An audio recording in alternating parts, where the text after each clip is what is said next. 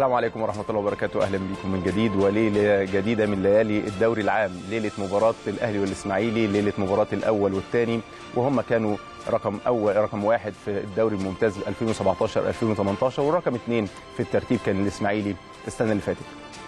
طبعا من آه، مفارقات الدوري أو من مفاجآت الدوري إن يقع فرقتين كبار بحجم الأهلي والإسماعيلي في آه، أولى المواجهات وأولى المباريات والأسبوع الأول بالتحديد وخصوصا كمان لما يكون آخر موسم يشهد تألق النادي الأهلي وحصوله على بطولة الدوري ويجي بالترتيب بعديه على طول نادي الإسماعيلي. عشان كده هي مباراة صعبة جدا جدا بالت- بالتأكيد مهمة جدا للفرقتين وخصوصا في آه، البدايات. واللي بيرتاح في البدايات بي أو اللي بيتعب شوية في البدايات بيرتاح كتير جدا في آه، الختام. استكمالا للأسبوع الأول الأسبوع اللي كله تعادلات باستثناء مباراة وحيدة هي مباراة الإنتاج الحربي. مع حرس الحدود قدر فيها الإنتاج الحربي إن هو يحقق الفوز الأول في الأسبوع الأول للدوري المصري 2018 2019 لكن خمس مباريات انتهت كلها بالتعادل ما عدا مباراة واحدة بس اللي هي الإنتاج الحربي وحرس الحدود يعني الاتحاد السكندري امبارح في أولى اللقاءات تعادل مع المقاولين 1-1 واحد واحد. آه، بناهيني في الدقيقة 9 وطاهر محمد طاهر في الدقيقة 68 المباراة الثانية كانت ما بين بتروجيت والزمالك والتعادل السلبي آه، آه، هو اللي حسم اللقاء وإن كانت الأفضلية كانت لبتروجيت. المباراة الثالثة كانت النهاردة على استاد كلية الشرطة ما بين الداخلية ووادي دجلة والتعادل برضه هو اللي حسمها. حسين رجب تقدم للداخلية في الدقيقة 36 وتعادل إبراهيم داي في الدقيقة 38 وبعدها بدقيقة حصل على ضربة جزاء آه، لوادي دجلة وأحرز منها إبراهيم داي الهدف آه، الأول والتعادل في نفس الوقت واللي اختتمت به اللقاء أو اختتم به آه، اختتمت به المباراة في المباراة الثانية قدر الإنتاج الحربي إن هو يحقق الفوز الأول في الدوري المصري موسم 2018 2019 آه، على حرس الحدود آه، عن طريق محمد رجب في الدقيقة 10 وعن آه، طريق ويليام في الدقيقة 89 وكان مصطفى جمال أحرز هدف التعادل لحرس الحدود في الدقيقة 66 برضو من الحاجات اللي تحسب لكابتن مختار مختار واحد من المدربين الممتازين جدا جدا واللي مش واخد حقهم في الدوري المصري واللي مش واخد رصيده الكافي أعتقد إن هو يستاهل أكتر من كده بكتير كابتن مختار آه، مختار. آه، غير محمد رجب اللي هو أحرز الهدف الأول بويليام اللي هو أحرز الهدف الثاني ودي من الحاجات اللي تحسب بالكتير بالتأكيد للمدير الفني. في المباراة الختامية النهارده كان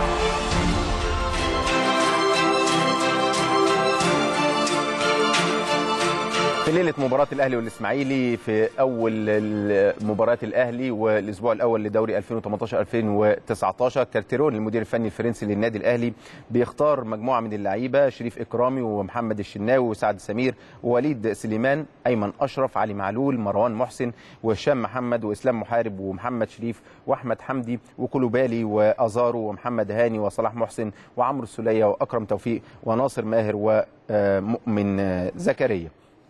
في مجموعة طبعا مستبعدة للإصابات زي مثلا يعني آه، حسام عاشور زي آه، أحمد فتحي زي بعض الأسماء اللي مش هتبقى موجودة في تشكيلة أو الاستعداد أو معسكر النادي آه، الأهلي. باقة وصبر رحيل وميدو جابر وكريم ندفد وأحمد علاء وأحمد ياسر ريان وباسم علي ومحمود الجزار.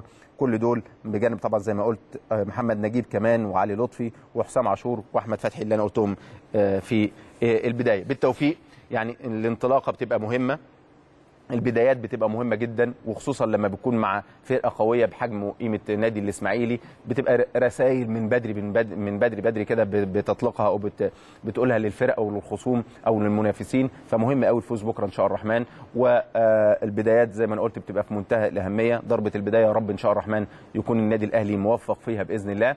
وموسم 2016 2017 كانت برضو المواجهة الأولى مع نادي آه، الإسماعيلي وقدر الأهلي إن هو يفوز ذهابا وايابا آه، أو آسف ذهابا 1-0 وكان الاياب اتلعب في السويس التعادل كان سلبي 0-0 ما بين الأهلي والإسماعيلي. فبالتوفيق إن شاء الله الرحمن للأهلي بكرة بإذن الله ويكونوا آه، بإذن الله يقدموا مباراة كويسة وإن شاء الله الرحمن الفوز يكون حليف النادي. آه، الأهلي. الأهلي بيوقع عقود الرعاية مع شركة صله رسميا.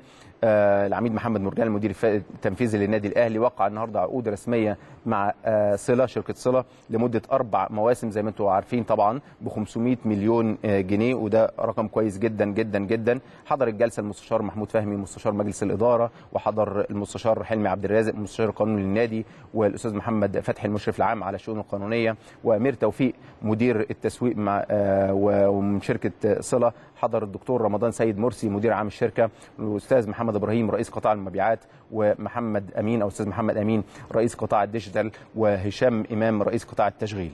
طبعا العلاقة اللي ما بين الأهلي وصله والرعاية الرعاية بالنسبة للنادي الأهلي شيء مهم جدا. ودايما يعني دايما في أي رعاية وأي sponsor بتبقى لغة أنت بتكسب وأنا بكسب. ده مهم جدا. هي اللغة أو الفكر اللي سايد يعني.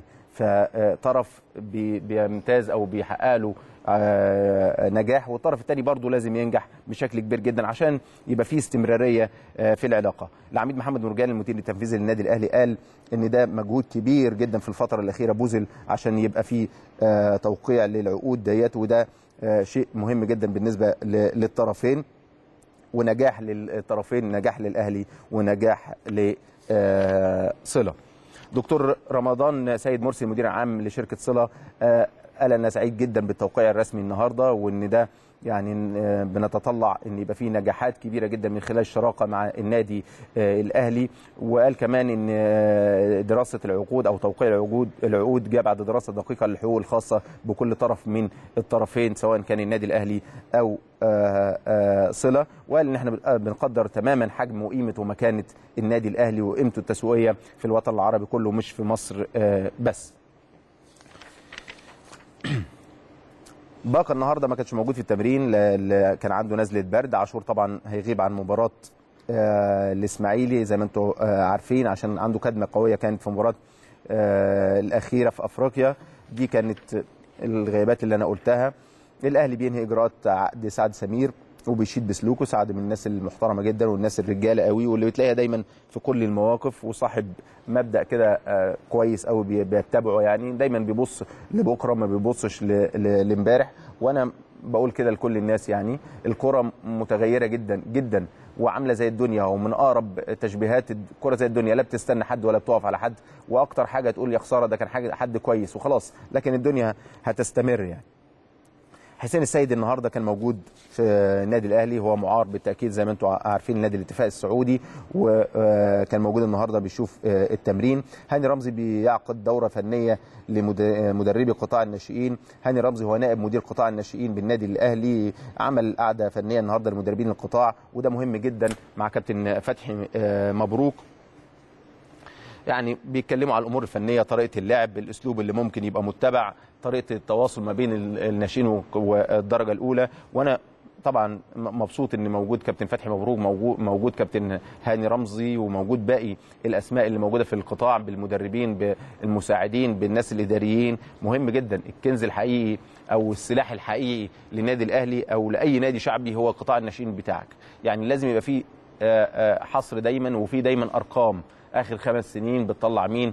مدربين آه كويسين لعيبة كويسة. في آخر سبع سنين كم واحد طلع من قطاع الناشئين؟ كم حارس مرمى طلع من قطاع الناشئين؟ كم آه واحد آه back right طلع؟ كم third back طلع؟ كم back left طلع؟ كم واحد من نص الملعب؟ كم من الناس اللي قدام؟ لازم ده يبقى دراسة ولازم ده يبقى يعني ما يبقاش فيها حاجة فهلاوه الكره ما يبقاش فيها فهلاوه خلاص. الكره بقت دراسة وصناعة وفكر وتحضير وتواجد. مفيش حد بيدير من مكتبه. محدش يدير من مكتبه خلاص محدش يبقى موجود في المكتب. والكلام ده انتهى في الكورة لازم انت اللي تروح وانت اللي تسعى وانت اللي تدور لأن انت المستفاد. فلازم تنزل تنزل في كل حتة تنزل المباريات وتنزل المحافظات وتنزل النجوع وتنزل القرى وت... انت اللي بتدور يعني. تمام؟ لأن هي عاملة زي الكنز. يعني عاملة زي الكنز. لعيب الكره النهارده بقى عامل زي الكنز. لما تلاقي حد كويس جدا في مكان ولا حاجة يعني بالتأكيد انت حظك كويس. لأن انت بعد سنتين ثلاثة بعد أربعة يا إما هتبيعه بملايين يا هتشتريه بملايين. فأنت شوف بتوفر إزاي لو أنت اشتريته من بدري شوية وممكن كمان تعمل رصيد إزاي ماليا لو أنت بعته في. آه، في المستقبل يعني. مش عايز أطول في ال- أجيري ده المدير الفني المكسيكي اللي هيبقى متولي القيادة الفنية لمنتخب مصر أربع سنين. قالوا إن الراتب الشهري 120 ألف آه، دولار وقالوا كمان إن في شرط جزائي 120 ألف دولار. قالوا إن الراجل بقاله فترة خالي شغل مش موجود يعني على الساحة بشكل كبير في الفترة الأخيرة ما يهمنيش كل ده. يعني وإن كانت مؤشرات طبعا بتديك أو بتوصلك لنتائج لكن أهم حاجة الأمور الفنية الإدارة الفنية القيادة الفنية. هنشوف ده على أرض الواقع. يهمني بقى الراجل كان موجود ما كانش موجود في آه، الفترة آه، اللي فاتت. المهم إن هو يكون صاحب شخصية صاحب آه، رؤية صاحب فكر صاحب وجهة نظر. كل ده ومهم جدا جدا إن إحنا نحكم على الناس بعد آه، ما نشوفها. السي في حاجة حلوة حاجة محترمة وحاجة جميلة وحاجة آه، زي الفل. لكن أنا دايما بقول إن المدير الفني طبعا هو مهم جدا. يمكن ناس كتير جدا بتقول لك أهم حاجة اللعيبة. أهم حاجة اللعيبة ده جزء مهم يعني في في المنظومة أو في العناصر. لكن المدير الفني هو الراجل اللي بيحرك الناس. هو اللي بيختار. ممكن يبقى عندك 11 مهندس لكن ما فيش واحد بيشيل طوبة. العمارة مش هتتبني ابدا. يعني ده وضع آه، مهم جدا في الفكر. المدير الفني ده لازم يبقى سيطرته على اللعيبة تحكمه في آه، مقاليد الأمور الكلمة الأولى والأخيرة عنده المفتاح عنده ويقفل الباب عنده. هو اللي يقول صباح الخير وهو اللي يقول مساء الخير وهو كمان اللي يقول يعني خلاص كده شطبنا انتهى الأمر على كده ما حدش يدخل لي الباب أنا خلاص خدت قراري. وهو اللي يجيب الناس ويقعدهم ويقعد معاهم ويقنعهم ويتكلم معاهم ويفتح حوار كل ده مهم قوي. عشان كده انت لما بتختار مدير فني محترم ومدير فني قوي انت بترتاح بعد كده. انت بترتاح بعد كده لأن المنظومة كلها هتمشي زي ما انت عايز. بالظبط يعني. يا فرحتي إن مدير فني آه كويس قوي وشخصيته ضعيفة. كارثة. كارثة.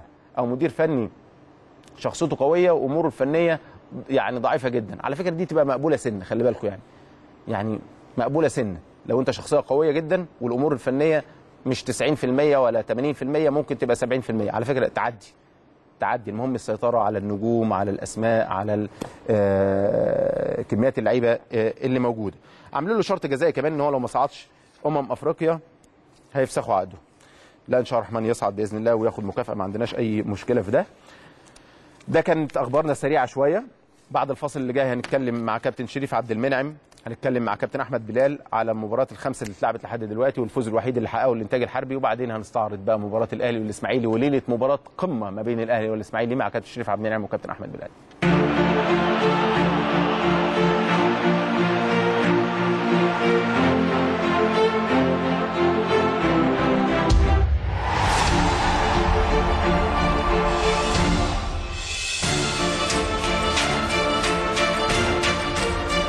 الاستوديو التحليلي بيبقى حلو قوي بيجمعك ما بين القديم والجديد والناس اللي أنت مثلا بقالك فترة طويلة ما شفتهمش والناس اللي عزيز جدا على قلبك وبتتكلم في حاجة أنت بتحبها وهواية شاركت فيها من خلال خبراتك ومن خلال مواقف كتير قوي معسكرات وسفريات وحواديت وقصص. عشان كده من أحسن الحاجات يعني اللي الواحد آه، بيعتز بيها جدا لما بيقابل شخصيات كان ليها بي- بينها وبينه حاجات كتير جدا. مواقف أكيد كانت كلها كويسة.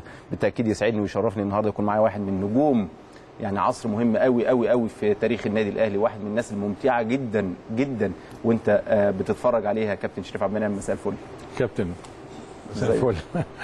نورت مكانك يا كابتن. حبيبي يا كابتن شريف. سعيد إن أنا معاك النهارده ومع كابتن بلال حبيبي. حبيبي شربت الشاي؟ لسه. ولا ده لسه؟ لا ينسون ده. الشخصيه الثانية معايا النهارده طبعا في الاستوديو ومشرفني بالتأكيد واحد من الناس اللي هي يعني كانت مهمه قوي آه، آه، كلمة النهايه تبقى عندهم. يعني اللقطة الأخيرة والمشهد الأخير اللي الناس كتير جدا بتسقف بعديه هو أحمد بلال. مساء الفل يا أبو حميد. مساء الفل يا كابتن سيد. أخبارك إيه؟ الله يخليك وحشني تمام؟ جدا. ربنا يخليك يا رب ومبسوط إني معاك النهارده مع كابتن شريف. طبعا الهداف ال- القديم الكبير. انت أحمد الجوال لا ممتع إحنا. إحنا بالنسبة لنا كنا أنا وكابتن شريف يعني الحتة الحلوة وبتاع. يعني إحنا كان طبعا طبعا. كان بيتقال الأحلى كمان. آه لا كابتن شريف كان ممتع جدا. آه طبعا طبعا. شريف يعني كنت بحب أشوف كابتن شريف قوي سريع وقوي وهداف كنت أحب حاجات أشوف- كتير ومهاري كبير طبعا. آه كنت أحب أشوف كابتن شريف قوي وأحب أشوف كابتن محمد صلاح. لا لا لا. محمد صلاح مين؟ واحد فيهم. محمد صلاح الزمالك مش محمد صلاح لا دلوقتي ده حبيبي كابتن محمد صلاح حبيبي. أنا بحبه جدا طبعا. شخصية اعتز بيها هقول لك على حاجة سر كابتن محمد صلاح أنا كنت بمثل الأوردر بتاعي أمسكه مش هو يمسكني. آه. إن هو كان بيعمل عرضيات لعلي خليل والناس دي وما أعرفش إيه ويخشوا لا كان منفذ منفذ كان منفذ ليهم يعني كان بيبنوا عليه هجمات نادي الزمالك كلها. فأنا اللي كنت بنزل وبعدين بيحصل فرق سرعات بقى بن- بنحاول أنا وهو نعمل جيم كده جميل جماهيري وشكلا يعني. قبل ما نتكلم في الدوري وأحداثه والفوز الوحيد اللي اتحقق والإنتاج الحربي يعني خليني أقول لك من الحاجات من الحاجات من الحاجات اللي بتبقى ممتعة قوي قوي في الكورة لما تلاقي حد سريع يا بلال وهو حريف في نفس الوقت.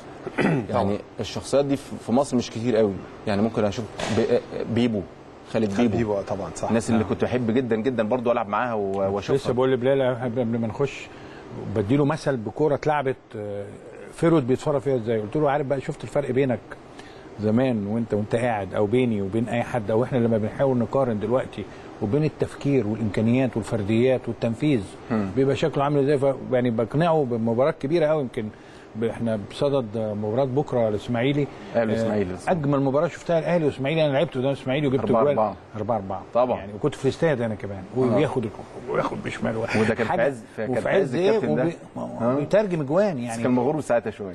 لا لا لا. كانت شغلته. كانت شغلته يا كابتن سيد إن هو يجيب مني بس. اتغير ساعتها؟ ساعتها كان مغرور شوية. كان شايف نفسه شوية. مين أنا؟ لا لا. لا خالص. بالعكس. لا لا بالعكس.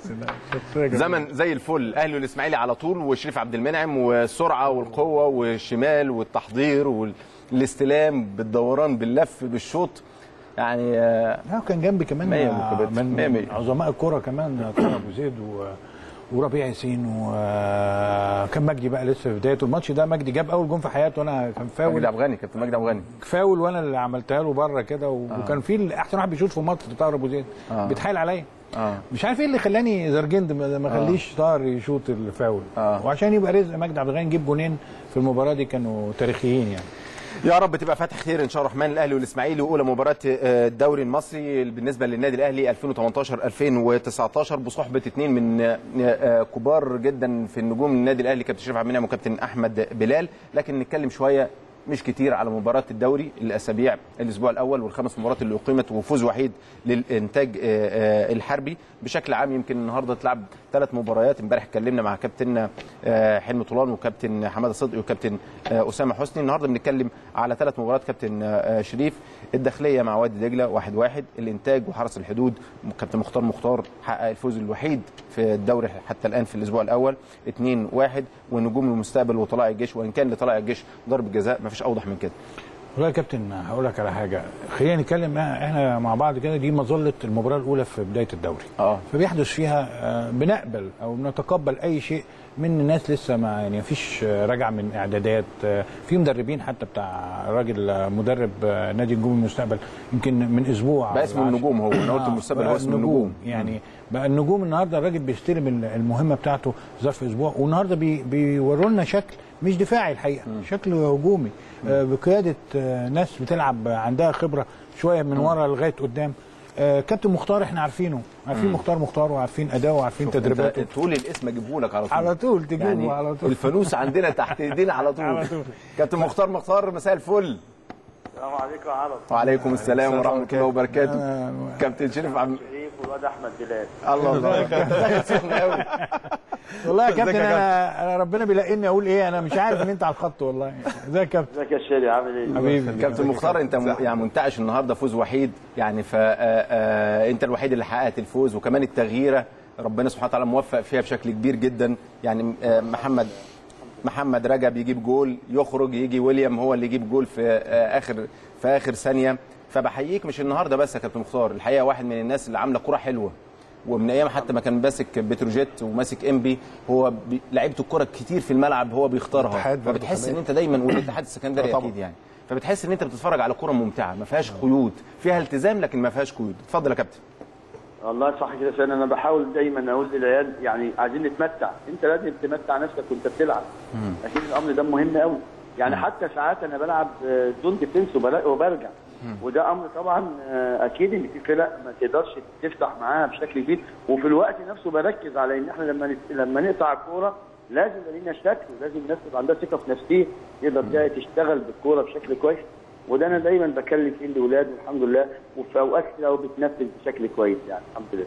طب كابتن مختار يمكن البدايات بتبقى صعبة على فكرة حتى لو أنت بتلاعب فرقة زي حرس الحدود طبعا غايبه عن الدوري الممتاز لكن وراجعه بشكل آه، انت ما تعرفوش مش باني على حاجة على آخر لقطة المشهد اللي فات أو السنة اللي فاتت ما تعرفهاش شكلها آه، عامل إزاي. ظروف الماتش كمان ما تخدمكش ممكن. يعني أنت الشوط الأول جبت جول بدري وبعد كده في الدقيقة 66 بيجي ضربة جزاء بيتعادل منها حرس الحدود عشان تبين أهمية إن المباريات ممكن تبقى مفاجأة بالنسبة لك مش بس الاسم هو اللي بتلعبه لا كمان مفاجآت وأحداث المباراة. والله شوف يا سيد انت عارف أنا في المحاضرة النهارده. كنت بتكلم على صعوبه المباراة وخدت شوط كبير جدا كده في صعوبه المباراة لدرجة إن أنا قلت للعيبتي كده.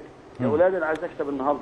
حتى لو كسبت بربع جول بس أخد الثلاثه point يعني عشان أوصل لهم إن الماتش صعب جدا جدا؟ بس مع الصعوبة ديت لازم. نشتغل على إن إحنا إن شاء الله آخر عشر نكسب دقايق حتى كان لو عامل زي ما كان زمان. الدوري بتاع الجامعات وبتاع بيحسبوا ربع جول وهو ده اللي يكسب. corner آه. النهارده الكلام دوت آه يعني أنت عايز تاخد البداية بس تاخد الثلاث نقاط الثلاث نقط وبعد كده آه طبعا ده مهم جدا. آه مهم اتفضل يا كابتن جدا جدا. تدي دفعه وتدي ثقة. كابتن شريف عايز يقول لحضرتك حاجة. اتفضل يا كابتن كابتن أنت كنت عامل إزاي آخر 10 دقائق أنا كنت قاعد أتفرج عليك آخر 10 دقائق الكورة بصراحة هجمة هنا وهجمة هنا. كانت من أحلى 10 دقائق في المباراة كلها الحقيقة. حالتك كانت عاملة إزاي بقى؟ كنت حاسس إنك هتكسب؟ ويعني الكرة اللي راحت للراجل ويليام ده الحقيقة ترجمها بشكل غير عادي ويعتبر من أجمل أهداف ال- الدوري اللي إحنا هنشوفه. الراجل آه، وأنت شايف إن هو كان محتاج ناقص آه، إعداد ولا إيه؟ يعني ده لعيب شكله أيوة، تقيل قوي يا كابتن. لا لعيب كويس قوي وأنا في الفترات اللي فاتت حتى في ال- الم- ال- الماتشات الأخرانية بتاعتي أحمد بلال وهم وهو بيأدوا أداء آه، آه، آه، أحمد ما شاء الله بفكر في أحمد الولا رجب وهو بيأدوا أداء هايل جدا جدا. عشان كده يمكن أنا كنت الأول ابتديت بويليام في الماتشات الأولانية وبعدين لقيت رجب كمان حالته كويسة قوي خصوصا كمان على الجون. فدي خلتني إن أنا يبقى الاثنين معايا كأن هم يعني واحد. وديت الحمد لله قدرت أستغلها إن أحمد بلال اشتغل اشتغلنا بيه في الوقت اللي هو قادم فيه وسجل لنا جول وفي الوقت نفسه لما لقيت نفسي اتزنقت شوية والحتة ال- ال- الهجومية قلت شوية آه، آه، دفعت بويليام وأنا كان عندي ثقة فيه كبير جدا إن هو يقدر يسحب لي الفرقة ويعمل لي نقلة بشكل كويس قوي وكان عندي أمل إن أنا يعني أجيب جول والحمد لله ربنا سبحانه وتعالى وفقنا وقدرنا نجيب جول و- وزي ما أنا بقول لك إن أنا حتى في المحاضرة كنت بكلم لعيبتي أكسب الماتش دوت حتى لو بربع جول بس أطلع بثلاثه جول ألف مبروك يا كابتن. في. مبروك. وده يبين برضو يعني مدير فني بيتابع كابتن شريف كابتن بلال.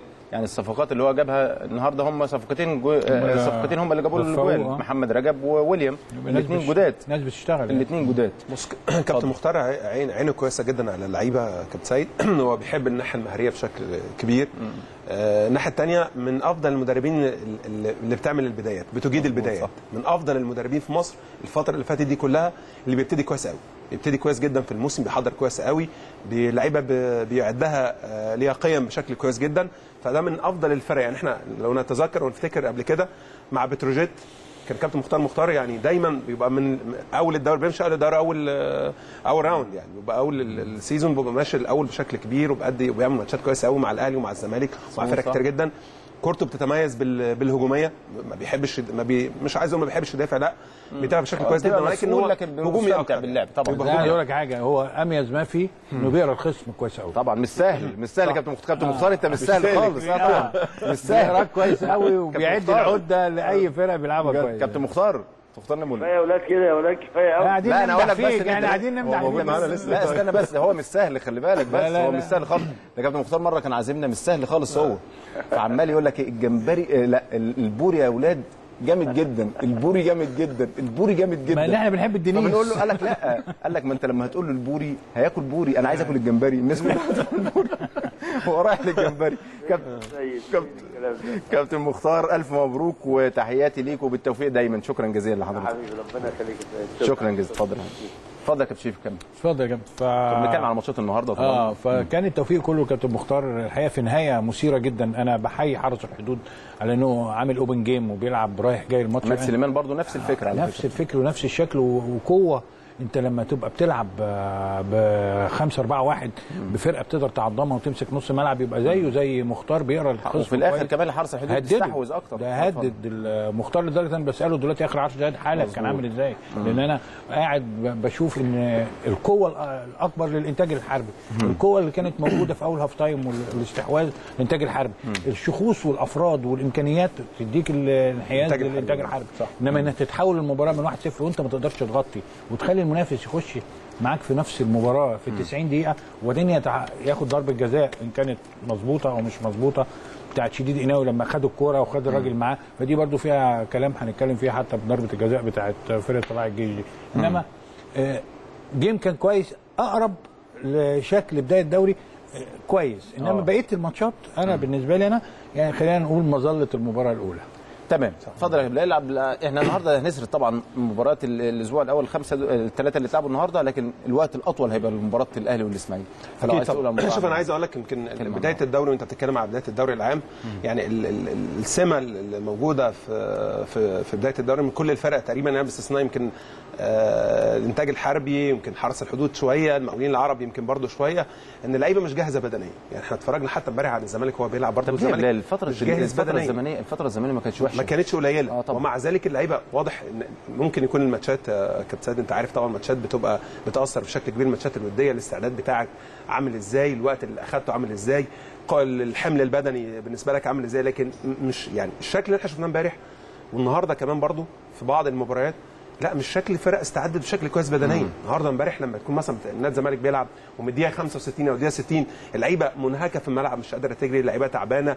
آه، مخزون اللياقة مش موجود أو الجاهزية مش عايزين نقول اللياقة البدنية الجاهزية البدنية مش موجودة. فده معناه ان إن الفرق لسه ما استعدتش بشكل كويس أو ما دخلتش الموسم باستعداد جاي مباراة. ده يأثر بشكل كبير على الفنيات زي ما قال كابتن شريف كده النهارده انت مش شايف أي فنيات أو مش شايف فنيات جيدة مش شايف فنيات عالية فرق جديدة على الدوري يعني. فرقة آه النجوم. أول مره يلعبوا آه. الحقيقة كتر خيرهم بيلعبوا بشكل هجومي كويسين برضه آه يعني بيلعبوا بشكل. هجومي لا يعني وفي ما- ظروف طبعا يعني ما فيش مدير فني ما فيش استقرار فني ما فيش. آه مدير فني في أول المباراه صح. في أول وده صعب وده صعب يعني. حتى كمان في اول ده في أول ظهور ليك في الدوري صح، ده ده من اللي صعب بيقولوا عليه. بلال ده في حاجات جديدة موجودة حرس الحدود نفسه ده طالع آه، جديد إحنا بنتكلم على الرجاء بقى وطنطا دول البدايل هل دول هيبقوا حصالة ال- الدوري زي الفرق الثانية لما كانت بتتأخر قوي؟ إحنا بنقول على مختار إنه بي- بيسرح بفرقته وبيقدر صح، في يلم- البداية، صح، يلملم يلملم. يلملم ويلاقي. نفسه إيه؟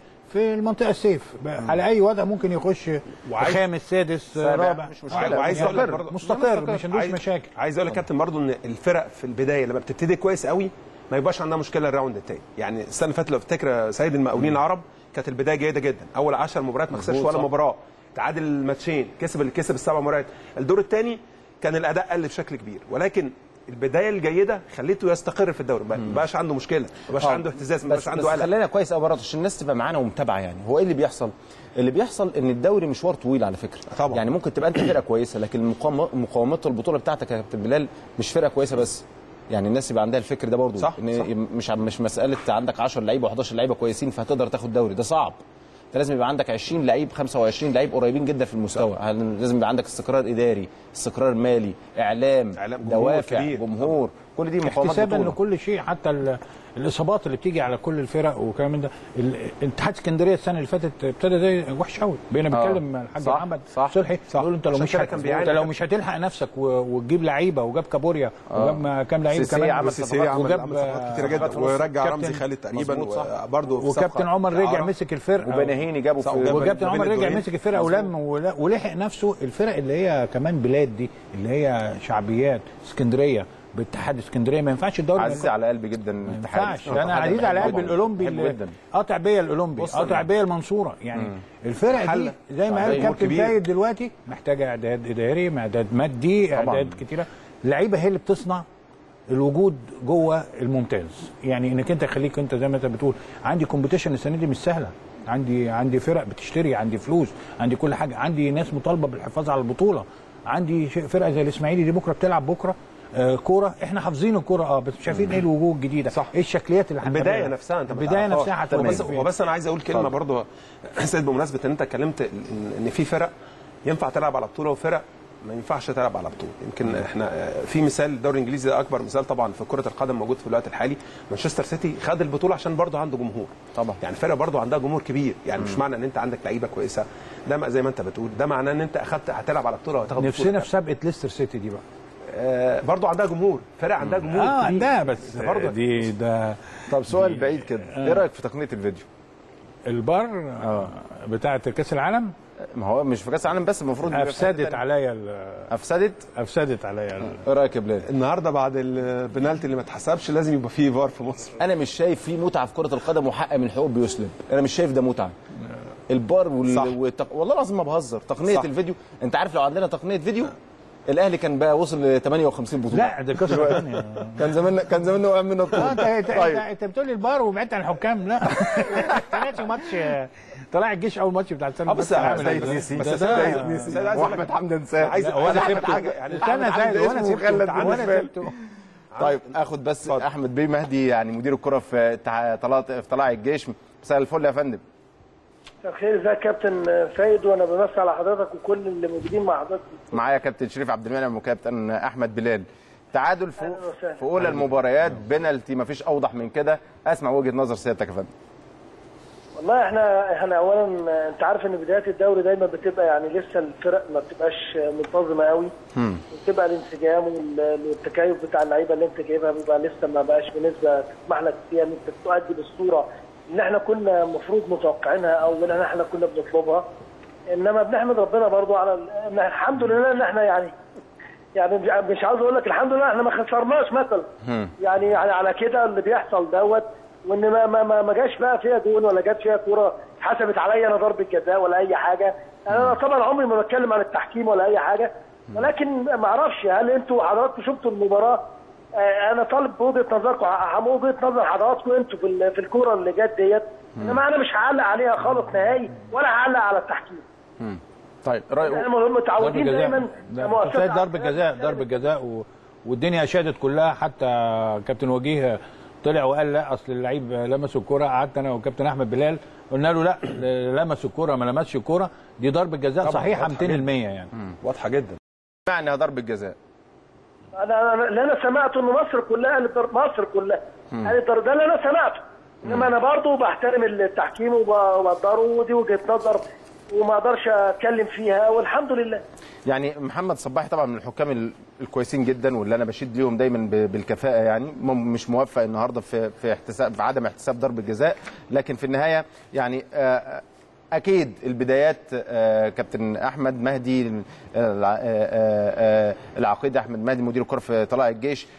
بالتأكيد كابتن محمد حلمي وحضرتك وكل لعيبة نادي طلائع الجيش كانت تأمل إنها تحقق فوز وخصوصا كمان مع المستقبل اللي هو أو آسف النجوم فرقة النجوم اللي هي حديث العهد بالدوري الممتاز. انت عارف الفرق اللي زي دي حضرتك برضه بتبقى بتعمل إن أنت كورة واحدة بس بتفك تواصل الموضوع وبتخلي الماتش يبقى كويس. عندك حق. معاك والكلام ده كله. عندك عندك حق. أنا الحمد لله برضه وربنا ييسر في اللي جاي إن شاء الله وتبدا الفرقة تبقى في صورة اللي هي يعني مطلوبة واللي هي إحنا بنأملها إن شاء الله. ماتشك اللي جاي مع مين يا كابتن أحمد؟ إمتى إن شاء الله. ما- إمتى بقى إن شاء الله؟ يوم 8 إن شاء الله. يوم 8 بالتوفيق. بالتوفيق لحضرتك. شكرا جزيلا ليك. كابتن شريف الفقرة دي خلاص وهنخش ونستعد لمباراة الأهلي والإسماعيلي. لو حابين حد فيكم يقول أي حاجة في في الخمس مباريات قبل ما نطلع فاصل أو تقرير. لا لا لا اتفرجنا على شكل آه، زي ما إحنا قلنا ما فيهوش اعداد آه، سليم لبداية الدوري يعني. أنا على كل الفرق. أنا راجل ديمقراطي جدا. هل أنتم من مقيدين لي؟ وإدارتي؟ أم أنتم لا قدر الله من المعارضين؟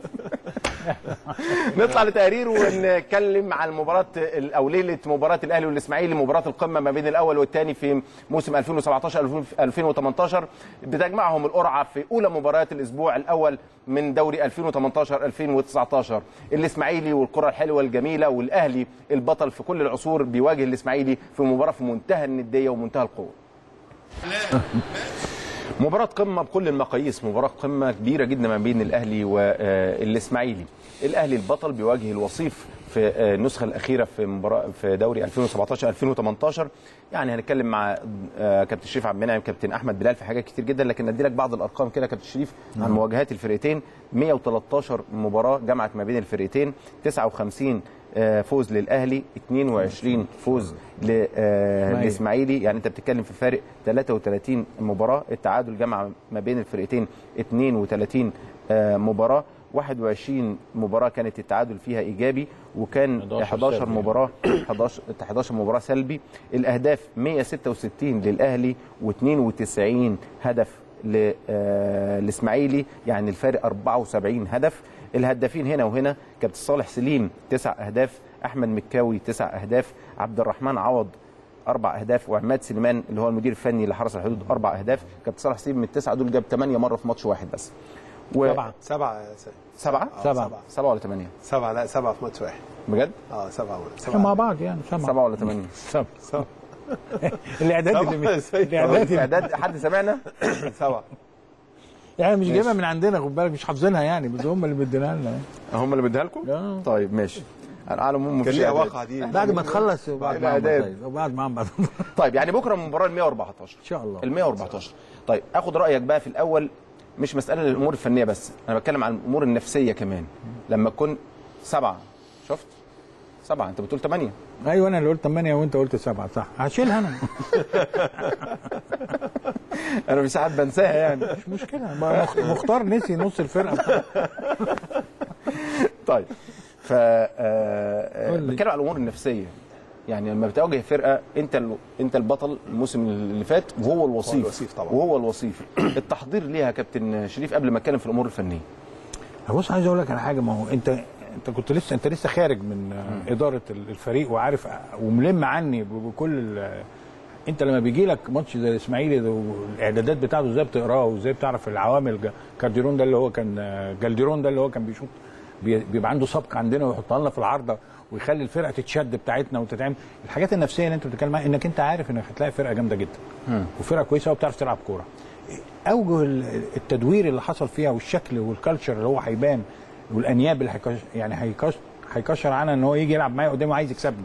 دايما الدنيا كلها بتبقى عايز تكسب النادي الأهلي. وخاصة بقى عنده الحكاية سهلة. ده في البدايات. يعني ممكن يسرقني. يسرقني في إيه بقى؟ أنا راجل مصاب. راجل كان عندي ضغوط نفسية الفترة اللي فاتت قوية جدا. عندي لملمة أوراقي وعندي لملمة لعيبتي وعندي آه، تغيير وتدوير في الشكل بتاع الملعب تحفيظ لعيبة جداد النهارده ودخول وجوه جديدة. وهو فالعملية كلها يمكن تكون ارتياحية بالنسبة للنادي الإسماعيلي شوية وهيتقبل منك انت لما بتيجي تلعب البطل دايما. آه، لو جرحت البطل بتبقى انت البطل. آه. ما قدرتش تكسب البطل انت بتلعب البطل مهما حصلت الحكاية. وانت دايما آخر ماتش المرة اللي فاتت انت كسبان 1-0 يعني هو دايما بيقاسمك في شكل المباراه دايما بيهددك وبيروح عليك. فأنا بتوسم بإذن الله إن النادي الأهلي يعدي بكرة أنا كأهلاوي بقى يعدي بكرة شكل الإصابات اللي حصل فيه شكل الضغوط النفسية اللي حصلت في أفريقيا والماتشين اللي كسبناهم وخلونا في موضع اسمع نواتك مرتفعة. ما شاء الله حاسس- مرتفعة وكل حاجة. واخد ست نقط من الماتشين. آه، مش عايز يكون تخلل في الحكاية دي كلها برضو. التلاحم إحنا النادي الأهلي ما بنستريحش. التلاحم اللي بيحصل بين المواسم وال- والإعدادات والحاجات وميدو جابر الله يرحم والده وكمان في ناس بيحصل لنا إحنا شوية حاجات كده. هي ساعات بتدينا دفعة قوية جدا. إنما أنا أنا بشوف إن برضو مظله المباراة الأولى في الدوري العام غير أفريقيا. إحنا بنلعب في البطولة الافريقيا برضو مستوى مش مش قوي جدا اللي هي في التصفيات دي. إنما إحنا عندنا نادي إسماعيلي م- الوصيف زي ما أنتوا قلتوا ويقدر يهدد ويقدر يقاسمك في المباراة. فهي دي تبقى المشكلة على اللاعبين نفسهم بقى اللي هم هيترجموا أي كلام أنتوا بتقولوه في في المحاضرة أو أو ادي كل اللي عندك. فهي هتبقى يعني مشكلة لعيب النادي الأهلي في المباراة القوية إن إحنا بنلاقي المعدن بتاعهم بنلاقي الاهتمام بتاعهم التركيز بتاعهم. فهي عملية تركيز على النادي الأهلي بكرة. كابتن بلال يمكن المواجهات الصعبة أو المواجهات ال- الأسماء التاريخية اللي ما بين تجمع ما بين فرقتين كبار إحساسك كلاعب كرة الأول وإحساسك كمسؤول أو متابع أو محلل في الفترة آه، الحالية أنهي تفضل أو أيهما تفضل؟ المواجهة الأولى كده تجمع ما بين فرقة قوية قوي ولا كنت تتمنى إن يبقى المواجهات تتأخر شوية أو المواجهة تتأخر شوية؟ لا أنا أحب أنا كنت أتمنى يعني طبعا المواجهات تتأخر شوية. أنت برضو ما تعرفش الاسماعيلي هي فريق قوي طبعا. اسم كبير بالأرقام وبالأهداف تمام؟ بالأهداف اللي أنت عايز تحققها. طبعا النادي الأهلي هو مضغوط أكتر بكتير جدا. خلاص أنت دايما الضغوطات بتيجي من الأهداف اللي أنت اللي أنت عايز تحققها. النادي الأهلي الهدف بالنسبة له هو بطولة الدوري العام. كل نقطة بتخسرها دي بالنسبة لك بتمثل ضغوطات فالنادي الأهلي داخل مباراة بكرة مع فريق كبير عايز يكسب وضع طبيعي جدا. لو النادي الاهلي تعادل مشكلة بالنسبة له ولو الإسماعيلي تعادل مشكلة؟ ليه ده؟ إحنا في لا ما أقصدش مش بك... أنا بتكلم في العموم يعني. أوكي. بتكلم على أهدافك أنت كنادي. كنادي آه. أهلي. أنت النهارده داخل بطولة دوري عام وده الوصيف بالنسبة لك فأنت خلاص عايز تكسب. ده وضع طبيعي بالنسبة للنادي الأهلي إن هو أي مباراة عايز يكسبها عايز مباراة عايز يلعب بيدخلها لازم عايز يكسب. هو ده آه. الفكر الأولاني. ما بيفكرش في حاجة ثانية الجمهور كله. جمهور الأهلي الجمهور وبتاع النادي وبتاع الإدارة وبتاع اللعيبة وبتاع. كل حاجة. آه. خلاص انت مطالب انت كنادي ان انت لازم تكسب. خلاص مطالب بقيت أصبحت مطالب أو انت طول عمرك مطالب إن انت لازم تكسب. فاهم مباراة صعبة زي الإسماعيلي. الإسماعيلي فريق بالنسبة لك مدير فني مجهول. تمام؟ انت مش عارف هو هي- هيشتغل إزاي طريقة اللعب بالنسبة له هتبقى عاملة إزاي. اللعيبة ال- ال- اللي حصل تجديد في لعيبة برضه النادي الإسماعيلي لعيبة مشت ولعيبة هتحل صح. محلها. فانت كمان مش عارف اللعيبة اللي هتكون موجودة دي إمكانياتها عاملة إزاي. هل الفريق الإسماعيلي يعني عمل فترة فترة اعداد ج- جيدة. هل الإسماعيلي مستعد بشكل كويس؟ فأنا كان النهارده كلاعب أو كراجل مسؤول لا أحب إن أنا المباراة دي تتأخر. أعرف شكل الإسماعيلي بشكل كويس أعرف طريقة لعبه أعرف اللعيبة أعرف المدير الفني بيفكر إزاي.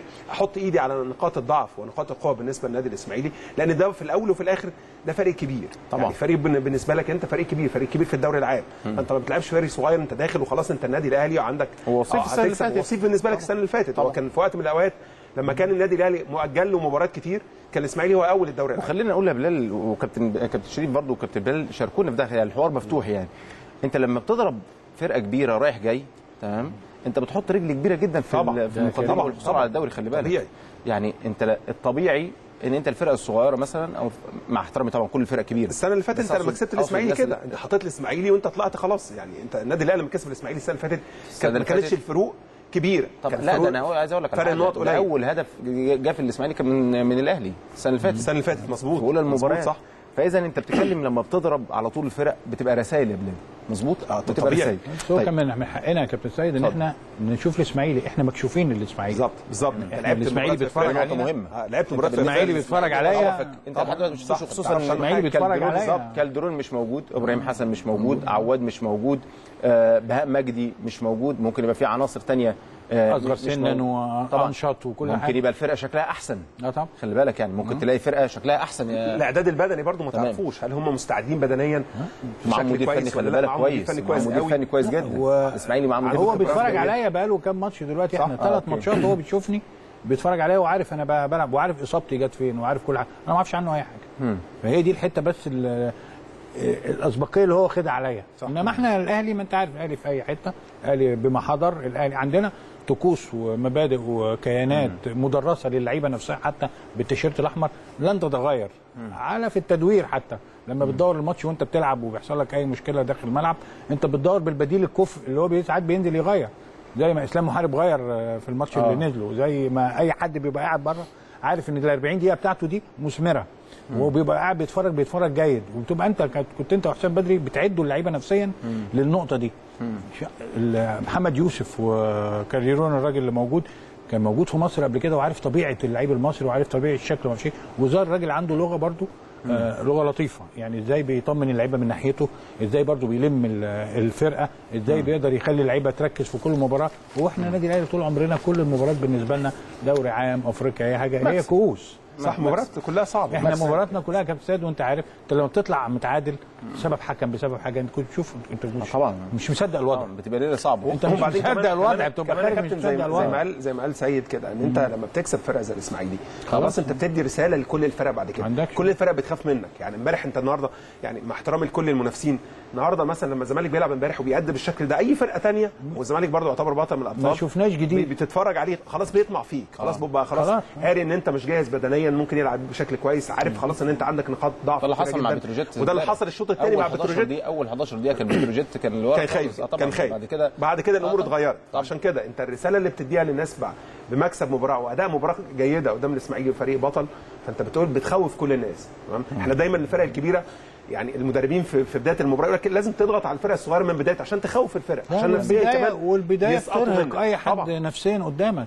آه هم هم اللي هو الزمالك مش بنفس الشكل الزمالك بنفس الشكل السنة اللي فاتت مفيش أنياب مش شايفين حاجة الأهلي كسب الاسماعيلي 3-0 3-1 لا لا لا ده الأهلي برضه هو هو الأهلي ودي بت بت بتنزل الدنيا كلها بتخليك أنت حتى تقدر ترجع الاكسجين بتاعك سهل والاستشفاء بتاعتك بتاعت اي لعيب بتبقى دام خدت الثلاث نقاط كله عايز يواكب النجاح بقى وكله عايز موجود. استقرار طبعاً، صح. كل حاجة بقى الدنيا. بتبقى ماشية طيب خليني أقول لك يعني عواد خرج دخل عصام الح- الحضري خبرات كبيرة جدا طبعا يعني كالدرون خرج جايبين واحد اسمه كريستوفر من يعني الكاميروني بيقولوا لعيب كويس قوي إحنا ما شفناهوش لسه بس بيقولوا لعيب كويس قوي لا كابتن عايز. سعد هو إحنا. ليه إحنا مش محظوظين دايما إحنا في الافارقة ليه بالعكس إحنا معانا أجاي حاجة. كويس. وازارو هو وازارو اتعود. لا، وازارو هو كويس ليه إحنا. مش محظوظين وعلي معلول. وبص الاقي واحد زي النهارده الراجل اللي جاب الجول بتاع انتاج الحربي ده آه. اللعيبة إحنا عندنا الشكل التيشيرت تقيل على اللعيبة دي لما طبعاً،. طبعا. مش كده لا طبعاً. عايزين نشرح الحتة دي للناس عشان لا أنا أنا عايز أقول حتة لك أقول لك رايي الشخصي يعني آه المهاجم الأفريقي ال- ال- حتى لما جالنا واحد وتوفقنا فيه كلوبالي ده وكمان ما, ما عرفناش. نكمل معاه المسيرة وبقى بيخش بيجيب اجوال وما وراح لا واخد بعض ما انت جبت أحسن منه أنا أنا في رأيي إن آه، أزارو أحسن أفضل منه بكتير. لا، لا كتير. اقدروا كتير منطقة. هجومية إحنا متفقين عليها إحنا آه طبعا واجاييه طبعا ده إحنا يعني كمان على الافريقي اللي هو أنت عايز أقول لك إن من حظ هو كلام على الأهلي- البشرة السمراء من حظ الأهلي السيء جدا ان إن اجاييه مش موجود آه طبعاً. اجاييه. حتة. لعيب كورة حكاية بصراحة حكاية. مش طبيعي. لعيب كورة عالي جدا. لما بيوصل لفورمة معينة لعيب كورة لما عالي جدا. آه بياخد- طبعا. وبيلعب في أي بيلم. الكوره وبيلم حواليه. ثلاثة وبيعمل ال- الحتة اللي بيعملها عبد الله السعيد. بيوصل ازاره للجول لا ده هو. عارف اللي هو بيستأذنك. لو سمحت هرقصك فأنت آه. لا يقول لك لا هرقصك. هرقصك. هرقصك. طيب خليني أقول لك يعني آه، عصام الحضري مكان عواد. عندك آه، كريستوفر زي ما قلت لك كاميروني مكان آه، كالديرون لعيب كويس. السعد الجزيري برضه كان جاي من آه، اتحاد كرو- آه، آه، آه، تونسي. okay. وعندهم طبعا يمكن خرج بهاء مجدي وإبراهيم حسن لكن محمد الشامي طبعا لعيب نادي الزمالك آه ولاعيب المصري ولاعيب انبي السابق أو الأسبق لعيب كويس جدا. فعندهم مجموعة من اللعيبة الكويسة اللي ممكن تساعد في شكل النادي الإسماعيلي. عندهم مدير فني كويس فأكيد فرقة الإسماعيلي هتبقى كويسة. خلينا نروح للجانب الآخر بقى. تمام؟ الأهلي. الأهلي جاي بفوز مستحق طبعا يا بلال. في كابتن آه، شريف مشغول بالورق اللي قدامه خليني أروح لك انت. لا انت انت شغلتني بالأسماء الجديدة بتاع اسماعيلي دي عايز طب أقول لك هم عندهم 16 لعيب. عصام الحضري وأحمد صديق مش أحمد صديق طبعا لعبنا لاعب النادي الأهلي ريتشارد بافور يعني- يعني وليد في توفيق آه. من إف سي مصر. محمد مجدي من الزمالك. طارق طه من سموحة ال back left. اللي هو خدوه طبعا لعيب. كويس. علاء عبد العظيم من المنصوره سليم عبد الخالق من بيراميدز. محمد الشامي من الزمالك لسعد الجزيري من تونس محمود الغزالي الشرقية مصطفى فارس القناة تارو الدوري النيجيري مش عارف آه، جنسيته إيه ممكن يبقى نيجيري أو غير كده كريستوفر نيجيري آه، كاميروني آسف محمود صلاح من دكرنس ومحمود أبو جودة من المقصة وعمر فتحي من بيراميدز. بلال نروح للأهلي. الأهلي جاي بفوز مستحق طبعا تاونشيب البوتسواني ذهابا وايابا لكن عنده الخسائر في الأفراد. عنده أحمد فتحي خسارة كبيرة جدا. عنده حسام عاشور خساره خساره كبيرة جدا طبعا. أجاييه. عنده اجاييه خساره كبيرة جدا. أنت بتتكلم في ثلاث عناصر. عندهم خبرة كبيرة قوي في المباريات الكبيرة. وعايز أقول لك برضو إحنا بنشارك كحوار فني. المباريات الكبيرة ديت بتتاخد على التفاصيل. صح. الناس ما بتاخدش بالها. لا ده أنا في مباراة أو آسف في لقطة أو في كورة معينة محدد. وممكن تفرق معايا الماتش كله. طبعا طبعا. لو أنت ما استغلتهاش صح. وأنا استغلتها بعدها بثانية صح. أنا ركبت الماتش بلغة الكورة. وبقى التفوق عندي صح. كبير جدا. مين اللي بيعمل لك اللقطة ديت؟ ممكن يبقى لعيب خبرة صح، ممكن يبقى لعيب مهاري ممكن يبقى لعيب شخصية والثلاثه اللي أنا ذكرتهم عندهم الحتة دي كلها أو الحتة بص دي أنا. هفكرك بحتة ان ان, إزاي اللعيبه الكبيره بتصنع الفارق أو اللعيبه الكبيره إزاي بتحول أو الفرق الكبيرة بتستفيد من أخطاء الفرق الثانية مباراة الأهلي والزمالك في السوبر الإفريقي أنت كنت موجود ركله جزاء للزمالك بتضيع النادي الأهلي الناحية الثانية هي دي التفاصيل اللي. هي دي التفاصيل اللي بتتكلم عليها. النادي الأهلي الناحية الثانية باللعيبة اللي موجودة بالخبرات اللي موجودة في الملعب بالإمكانيات بالفكر بالعقلية. المدير الفني اللي قاعد بره بيتكلم عن اللعيبة الحماس اللي موجود اللعيبة اللي انت بتتكلم عليها اللي عندها الخبرة بقى خلاص اللي عندها خبرة إزاي تتحول بقى. خلاص أنا حصل وقت من الاوقات بتحصل ان انت الفرقة بتبقى داون بتيجي وقت من الاوقات لو حتى مش ليك يعني لو حتى لو عليك يا كابتن يعني ركلة الجزاء دي كانت على النادي الأهلي مش النادي الأهلي. وتصدت تحول النادي الأهلي تمام؟ بفرق الخبرات بفرق ال- التعاملات اللي قبل كده الماتشات الكتيرة جدا لعبتها اللعيبة خلاص الظروف اتاحت لك ان انت تتغير داخل المباراة تغير النادي الاهلي أو تحول طريقة لعبه وتحول اداؤه داخل الملعب. دعم. نفسي، بيبقى دعم نادي. الزمالك بالظبط. هي دي الحاجات اللي إحنا بنتكلم عليها. النهارده في لعيبة كتيرة أو لعيبة مؤثرة بشكل كبير جدا مش موجودة بكرة في مباراه في مباراة الإسماعيلي. مباراة كبيرة. ممكن يعني في ناس بتقول لك آه الأهلي منحدر ده وضع طبيعي إن الأهلي منحدر لأن كل لعيبة النادي الأهلي كلهم آه، موجودين في النادي الأهلي عشان هم يستحقوا إنهم يكونوا موجودين في النادي الأهلي. و- والفرص بتيجي كده. بالظبط. يعني أنت بتلعب بتزغل بتيجي. كده. يعني أنت بتلعب بتزغل كل الناس حد متعور أو حد غايب كل كل الناس كده. ولكن أنت في بعض من في بعض الأوقات بتبقى محتاج اللعيب اللي دايما رجليه في الملعب في الماتشات الكبيرة بالذات. يعني دايما بتحتاج اللعيب اللي هو على طول بيبقى موجود بيلعب بشكل أساسي. اللعيب اللي رجليه في الملعب اللعيب اللي لياقته البدنية جاهزة. ممكن وقت- المواقف كتير. بالظبط. صح. وعنده حالة استعواضيه في أي مباراة هتجيله. النهارده أنا اخفقت دي. اللي جاية لا هعملها صح. وعايز أقول لك على حاجة. عنده ثقة في نفسه. الأسماء اللي الكابتن سيد بيتكلم فيهم دول اجاييه من اللعيبة اللي بحب اتفرج عليها في الماتشات الكبيرة. يعني دايما في الماتشات الصغيرة ممكن محطة. تلاقي آه، ماشي بيلعب لكن في الماتشات الكبيرة بيو بيوصل لحالة فنية رائعة جدا حالة فنية عالية جدا. وأنا تابعته السنة اللي فاتت يعني في كل الماتشات الكبيرة بتلاقيه موجود بتلاقيه له حضور في الملعب. وده اللي بيفرق وده اللعيب الكبير اللي بيفرق مع الأندية الكبيرة. وهي دي شخصية اللعيبة الكبيرة. إيه البديل يا كابتن؟ البديل إن خلاص أنت ممكن تغير طريقة لعبك يعني النهارده ممكن. النادي الأهلي يغير من طريقة لعب النادي الأهلي أنا شايف إن السنة اللي فاتت كان بيست... بيلعب بطريقة الاستحواذ ان هو بيستحوذ على الملعب ال indirect attack إنك بتوصل ال... ال... بتهاجم بس بشكل إن أنت بتستحوذ بشكل بترهق كويس الفرق. اللي قدامك. نفسياً حتى. وبتحاول أنت تستغل منك الكورة يعني. المهارات اللي موجودة عندك مع الباصات مع الاختراقات دي الحاجات اللي كان بيلعب بيها النادي الأهلي السنة اللي فاتت السنة دي لعب مختلف شوية أنت بتعتمد على اللعب السريع الهجمات السريعة الكرات الطولية ودي برضو ممكن تمثل شوية مشكلة في أداء النادي الأهلي لعدم وجود برضو ال playmaker أو صانع الألعاب اللي مش موجود مع النادي الأهلي. إيه فممكن رأيك النهارده كابتن في 4 4 الطريقة 2 تتغير. أفضل طريقة. 4 4 2 ممكن. يبقى أنت النهارده عندك اثنين راسين حربة أقوياء جدا لعيب سريع ولعيب صغير عنده مهارات ممكن تستغل واحد يبقى رقم تسعة اللي هو اللي هو أزارو وممكن يلعب صلاح محسن أو مروان محسن ده اللعيب الثاني ولكن أنا بفضل دايما إن اللعيب يبقى عنده يبقى ده المحطة بالنسبة لك واللعيب الثاني يبقى أداؤه مختلف شوية. عارف يا كابتن سيد أنا إيه اللي بيريحني نفسيا لما بلاقي اثنين روس حربة إن الأطراف عندي بتشتغل كويس قوي okay. عندي علي, علي معلول بيشتغل كويس قوي بعرضياته. محمد وعندي هاني. محمد هاني أو باسم علي أو كان فتحي لما كان موجود على طول بنلاقي عدو وعندنا كمان وليد سليمان والناس دي بتعمل محطات برضه. وليد في حلقه في حلقه هايلة. في حلوة قوي. وليد آه، سليمان في حلقه هايلة. اللي في فاتت غزوات. غزوات وبيقدر يا إما بي بيترجم هو وبيبعت الفرديات بتاعته يا إما بيوصلني كمان لجول يا إما بيعمل لي مشكلة للفريق الخصم فببقى محتاج اتنين راس حربة زي بلال كده وزي آه، أزارو زي آه، صلاح محسن زي مروان محسن. الناس دي بتدي طمأنينة لبقية الفرقة بتاعتنا إن إحنا عندنا محطة هجومية سهل تخلصني بدري بدري من الحكاية. طب أنا هقول لك برضو يعني مش مسألة أسئلة إحنا ده في حوار يعني. حوار. يعني أنت ممكن تقابل تقابل مشكلة إن أنت بتطلع من أفريقيا على دوري ال- المحلي. في ناس كتير بتستعجل لعيبة معينة بتستعجل إنها. تشوف لعيبة معينة. كرؤية فنية أنت بتحاول تعمل استقرار في التشكيل.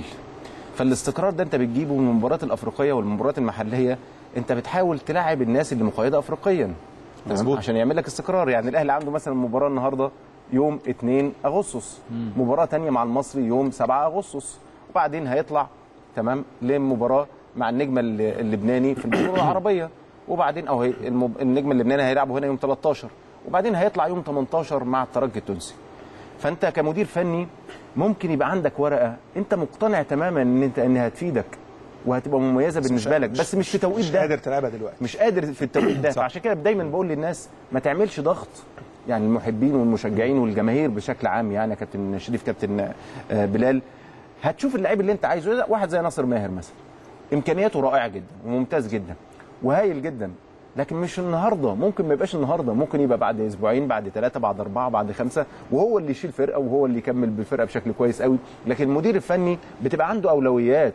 في بطولة أفريقية بيبقى عنده حسابات في بطولة أفريقية وفي ناس مقيده افريقيا وعايز يديها بشكل مستمر عشان يبقى في تجهيزاته استقرار كمان، آه. استقرار في ال team استقرار في التشكيل. إزاي يقدر يخش جوه ال team. كل ده اللي يعرفه المدير الفني. اللعيبة برضه يا كابتن سيد ما هو أنت برضه حالة اللعيبة مهمة جدا بالنسبة للمدير الفني. أنا ممكن النهارده يبقى عندي لعيب آه، لعيب إمكانياته كبيرة جدا لكن حالته دلوقتي ما تسمحش إن هو يلعب النهارده.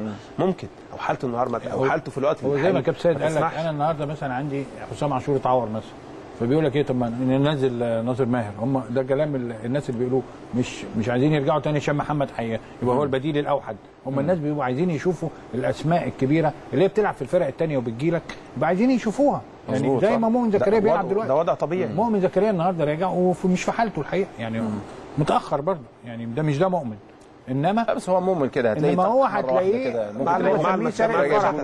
أنا بقول عليه دايما سارق الفرح. يعني يروح جايب له جولين في الماتش وهو بيتحرك التحركات بتاعته ويعمل الزيادة العددية جوه ال 18 وعنده الفرديات اللي هو تقدر تخليه هو مؤمن زكريا. ففي ناس بترجع آه الناس بتحب تشوفها عايزة زي ما بيقول كابتن عايزين بسرعة يشوفوهم. ما هو اللاعب كمان يا جماعة على نفسه هو يشتغل يخليه قدام الجهاز ودي الفني نقطة بقى في منتهى الأهمية آه. إن أنت لازم تشتغل على بس نفسك ما هو ده اللي بنقوله على الحاله نفسك، بتاعت اشتغل على نفسك. ده اللي لازم بيشتغل على إزاي نفسك. إزاي تخليني تحت أمر الجهاز الفني بتاعي أنا بص ما فيش مدير رجلي بص خلينا نتفق ما فيش مدير فني مش عايز يكسب طبعا. ما فيش. مدير فني شايف إن اللعيب النهارده في التوقيت ده لو هيكسبه مش هيلعب وما فيش دي مدير مش- فني بيحب دي مش. موجودة آه الناس دي مش فاكره إن موجودة يقول لك. فل- ده فلان ما بيحبش فلان ما بيحب اللي بيكسبه لا يحب طبيعي يكسبه. يكسبه. ما- لازم نعرف كده وإحنا لعبنا كورة إزاي وكل حاجة. وإحنا ثلاثة لعبنا كورة إزاي هو خدنا عين الراجل المدير الفني واعتمد علينا إن إحنا هننزل الملعب وإحنا قدام في الملعب اعتمدنا إزاي نكسب التيشيرت الأحمر بتاعنا وإزاي نعمل نفسنا أسماء طبيعي. إنه بعدين طبيعيين هنا بنتكلم عن الكورة وعاملين فيها محللين وفكر و... لا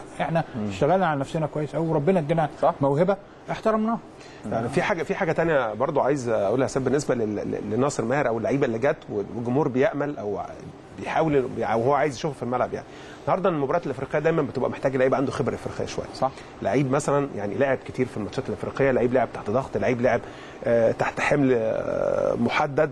فالنهارده اللعيبه اللي كانت موجوده النهارده بالنسبة للتشكيل في بتاع النادي الاهلي في, في المباراتين اللي فاتوا أعتقد هم دي اللعيبه اللي عندها الخبره.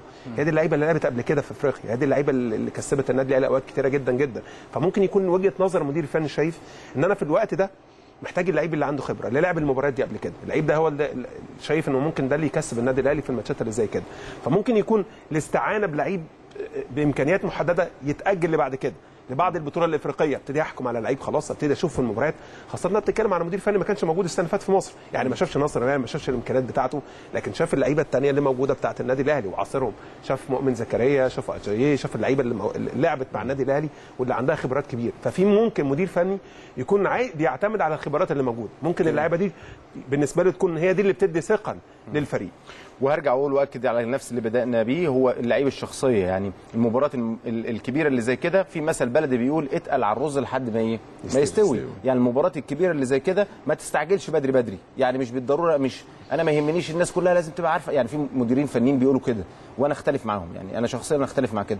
لازم الناس كلها تحس ان إحنا جايين نكسب الروح الموت يا رجالة الدم. لا لا لا.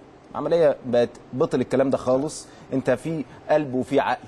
في قلب. في منتهى الحماس لكن في عقل بيحكمك إن أنت إزاي تتصرف مع المواقف. وما تنسوش السنة اللي فاتت مثلا مع الإسماعيلي الجون الأولاني بتاعنا بتاع عمرو السولية في الدقيقة 74 والجون الثاني في الدقيقة 82 الدور الثاني جون وليد سليمان كان في الدقيقة 92 فالمباراة المواجهات الكبيرة ما ت... يعني ما تستعجلش الأمر. ممكن يمتد يمتد يمتد. لازم تبقى هادي جدا جدا. بس مش, ح...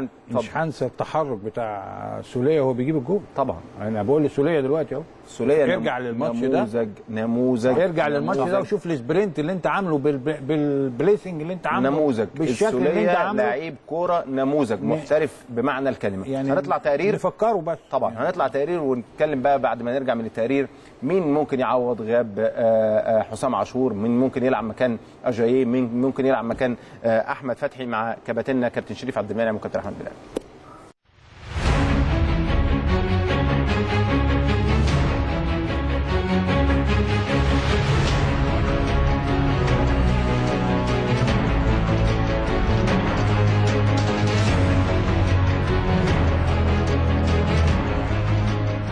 المنافسة السنة دي هتبقى شديدة لأن ال- الدوري فيه لعيبة جت است- استقطبوا لعيبة جديدة. الاستقطاب هيؤدي لأن الكو- الكوره تبقى أفضل التخطيط أفضل. جابوا مدربين هتبقى الخطط أحسن. والتأثير بتاع كأس العالم مردوده علينا لازم يبقى أفضل في على الدوري عشان نجيب لاعب دولي ينفعنا في ك- في المنتخب الوطني ومسيرة الكورة في في مصر. إن شاء الله نحقق المركز الأول وبسكور عالي عن أي منافس معانا وإن شاء الله ناخد الدوري كالعادة يعني. هو الدوري كده كده يعني ده بتاع الأهلي. دي سهلة. إحنا طموحي في كأس أفريقيا. نرجع تاني بطولة أفريقيا. نرجع تاني نسافر كأس العالم للأندية. المنافسة صعبة. ما ننكرش. سواء المنافسين سواء منافسين آه، دعموا صفوفهم سواء بيراميدز الزمالك أي فريق تاني. لكن الأهلي ليه طابع خاص وهي روح الفانيلا الحمراء اللي عند لاعيبته ايا كان اسمه صغير أو كبير. نتمنى كالعادة يعني إن إحنا ناخد الدوري إن شاء الله وأتمنى يعني ال... نشوف مستوى جديد كمان من الكورة وكورة جديدة شوية عن السنة اللي فاتت بالرغم إن إحنا كسبنا بس عايزين كورة أحسن شوية أمتع شوية من السنة اللي فاتت. المنافسه طبعا قوية في الدوري بس الأهلي عنده روحه عنده فرقته عنده إدارة قوية جدا واقفة وراه. المنافسة السنة دي هتبقى قوية عشان نادي بيراميدز واللي هو والنادي الأهلي داخل اللي هو هيكسب اللي هو البطولة زي ما إحنا متعودين كل سنة وإن شاء الله الدوري وال... وأفريقيا الأهلي إن شاء الله. عودة الجماهير. بس هي دي الحاجة الوحيدة اللي نفسي ترجع تاني لأن الكورة من غير جماهير مالهاش طعم يعني. طموحي إن الجمهور ياخد مكانه شوية وان وإن يسمحوا تدريجيا للجمهور بإن هو يشارك في ال- في المباريات وإن الاستثمار شوية يزيد في في الدوري بحيث إن يكون ال- الموضوع فيه سبونسرز أكتر يعني. المنافسة السنة دي طبعا هتكون قوية جدا جدا. نادي بيراميدز دعم فريقه بصفقات قوية قوية جدا جدا. وبرضه الأهلي طبعا ونادي الزمالك هيكونوا لهم دور كبير قوي في المسابقة. خصوصا اللعبة وكمان نادي بيراميدز اللعبة اللي جاية له. ما عندهمش حتى روح الفانيلا. غير النادي الأهلي وغير نادي الزمالك كيان كبير طبعا والتاريخ كبير. المنافسة هتبقى كويسة والله بس الفكرة في إيه؟ الفكرة في نادي زي بيراميدز جاب لعيبة كتير ودعم فمشكلة الأهلي والزمالك دلوقتي هيعانوا في إن آه، مش هيكون عنده جودة وكواليتي اللعيب زي النادي بيراميدز. بيراميدز دلوقتي هيخش في أي لعيب هيقدر يجيبه. فأنا شايف الأهلي والزمالك المدة الجاية المفروض يعتمدوا على الناشئين بتوعهم أكتر عشان هيبقى تبقى منافسة كويسة شوية. فبيراميدز دلوقتي هينافس بنسبة كبيرة بس الأهلي والزمالك هيفضلوا برضو بكيانهم وقوتهم وتاريخهم.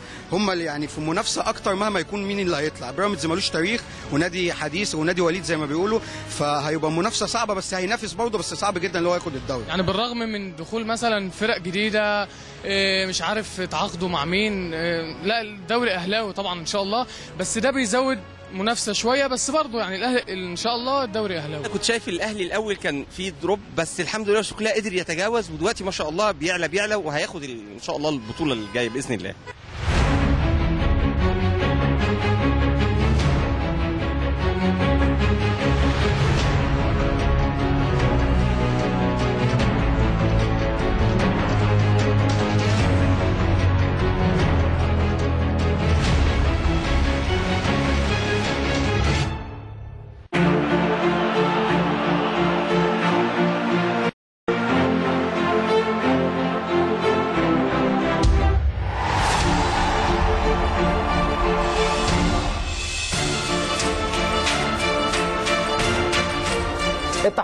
التحضير للمباريات بتواجه بعض الأسئلة في دماغ الجهاز الفني والمدير الفني تحديدا إزاي يتعامل معاها إزاي يحلها؟ تحديدا في مباراة الإسماعيلي فرقة أنت ما شفتهاش فرقة بتضم 16 لعيب فرقة بيطلع منها 3 4 لعيبة كانت مميزين لكن ال 16 الجداد أو اللي تم الصفقات أو الابرام الصفقات معاهم بالنسبة للإسماعيلي ما تعرفهاش. مدير فني آه، جديد بعض الإصابات اللي جات لك في آخر المواجهات شكل آه، نادي الإسماعيلي الطريقة بتاعت نادي الإسماعيلي. أسئلة بتدور أكيد في الجهاز الفني أو في دماغ الجهاز الفني وتحديدا في آه، المدير الفني. كابتن شريف قبل ما نطلع ونشوف التقرير بتاعنا دوت كنا بنتكلم وبندردش مع بعض بإحساسنا كلاعبي الكورة. مدرب عنده بعض الأسئلة في دماغه عنده بعض الحلول لازم يوجدها عنده كمان أحداث بقى بتواجهه أو ظروف أو آه، آه، صعوبات بتواجهه أثناء الماتش. لكن في أحداث أكيد هو فكر فيها زي حسام عاشور زي أحمد فتحي زي آه، أجاي.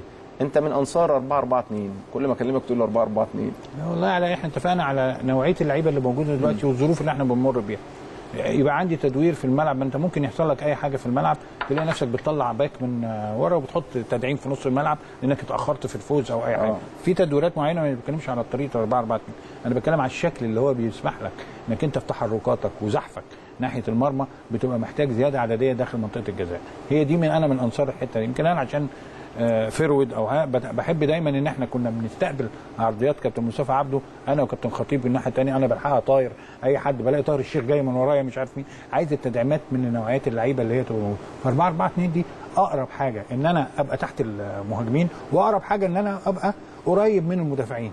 وعندك نوعية اللعيب اللي إحنا كنا بنتكلم خاصة عمرو السولية النهارده يقدر يديك ال- الحالة الدفاعية والحالة الهجومية مين المسانده بقى جنبه؟ التعويضية. ده جول عمرو السولية اللي أنت طلبته. بص أجاييه بص ال sprint لا. أنا عايز أشوف ال sprint سيبك من المهارة. بص المهارة بقى. تحرك بقى لا كده. ال sprint أنا النهارده بكرة هضمن. تكملة. لا ده ده ده, ده nerve لتأخرنا في الفوز. اللي لسه أنا بكلمك عنها دلوقتي. أنا ال nerve اللي بي- بيخلي اللعيبة تتحرر. الماتش اللي إحنا كسبناه بتاع ال- الترجي في تونس. تونس. التحرر بتاع علي معلول ده خدت بالك لوحده. آه، في مظبوط. احساس لاعب نفسه في الملعب حاسس إن إحنا متأخرين إن مش ده وضعنا. ودي شخصية لعيب برضه آه يعني. شخصية لعيب برضه. وانت سمحت له برضه بنفس الشكل انت كجهاز فني انك تعوده وتعده بدنيا انه يعمل السبرنتات دي طب- ويروح رايح جاي يعوضك. اللي انت طلبته ده قبل ما اسمع برضه رأيك في موضوع من حسام أحلى عاشور الأجوال اللي فتحي شفتها. وجاي الجول اللي. هاته برضه مرة ثانية كده. اللي حاسس قال أنا من غير ما اشوفه قال لك اجاي فاول ومش الجول ده اقف بس؟ اقف اقف كده بعد إذنك اقف بعد إذنك.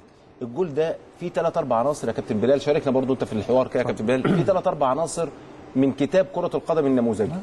واحد ضغط. ضغط. ضغط. ضغط طبعا. ضغط مش فردي. يعني بص اجاييه فين؟ اجاييه على الدايرة. وليد أزارو هو اللي ضغط على فكرة. وليد أزارو آه وليد, طبعا هو اللي وليد. أزارو اللي ضغط اللي. ضغط ده تقريبا يعني. تمام؟ كمل بقى حضرتك. هتلاقي الضغط الجماعي بص اجاييه بدأ الخطوة تفتح شوية. بدأ يفتح شوية الخطوة. okay؟ ضغط ضغط محترم. كمل. بص عمرو السولية فين؟ اقف اقف اقف اقف بص عمرو السولية فين يا كابتن؟ داخل الدايرة. في عمرو السولية ومش داخل الدايرة. ومش عايز ياخد عيني اللي هيجيب الجون اللي داخل الدايرة. تمام؟ فكده عدم التقاعد بمع... بمكان والكرة معاك. تمام؟ أقرب واحد بيضغط. ضغط جماعي مش ضغط فردي. واخد حوالي 60 متر آه، sprint وهو واثق. ان الكره هتجيله بص يا كابتن سيد آه، كمل، لعيب لعيبة نادي بص النادي الكره عند لعيبة نادي الإسماعيلي في ملعبهم وخمسة من لعيبة النادي الأهلي في نص ملعب لعيبة النادي الإسماعيلي. مظبوط صح. بس ده التدعيم بقى يا كابتن سيد اللي بقول لك عليه.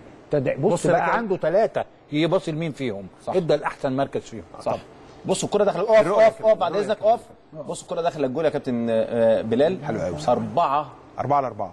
أربعة على أربعة. أربعة على في ده اللي- 18. ده اللي أنا بقوله. أربعة على أربعة. أنا بسميها الضغط 4 على بتاع 3 كمان ليه؟ لأن أجاي خلاص بعد ما عمل كابتن. انتهت القصة الراجل ترجم الهدف ما اداش فرصة لأي حد يفكر. ليه طبعا. الضغط بتاع لعيبة النادي الأهلي التحول السريع كمان من من الحالة الدفاعية للحالة الهجومية وده بص بيبقى في اللعب style الفرقة. ودي اللي نفسي فيها. ده ال style دي إحنا style الفرقة.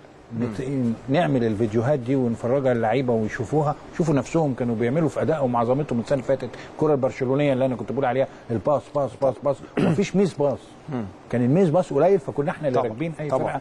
وكنا بنتأيه كنا بنتحرك في المباراة أول سبع ثمان دقائق إحنا بطاء شوية في الإعداد كنا وبناخد على الملعب وبناخد. إنما بعد آه، 10 12 دقيقة مفيش منافس.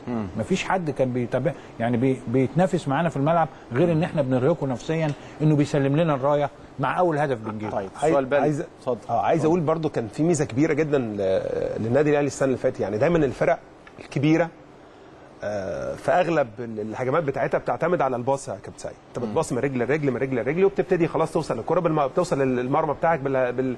بالشغل الفردي بالمهارات الفردية بتاعت اللعيبة وال- واللعب الجماعي يعني. لكن النادي الأهلي كمان كان عنده ميزة السنة اللي فاتت إنك كمان ال- ال counter attack كنت بتعمله بشكل جيد جدا. ودي كانت. ميزة كبيرة جدا بالنسبة للنادي الأهلي يعني. أنت كنت يعني ما بتبقاش موجودة. يعني في, الأندية الكبيرة لأن النادي الكبير دايما بيعتمد إن الكرة لما توصل كانوا كده؟ الجونين بتوع الترجي في تونس كانوا كده مظبوط. وحتى.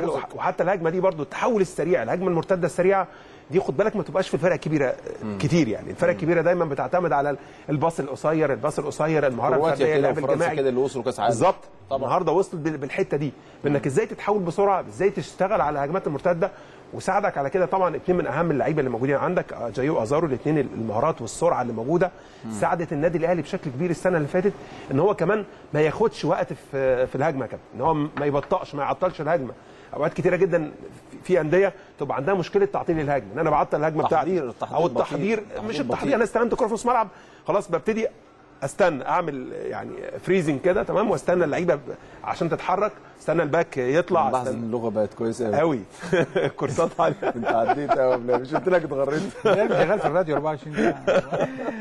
آه وده الجول الثاني طيب نرجع بقى في, في أحداثنا بتاع ده الجول الثاني برضو كان لعبد الله سعيد.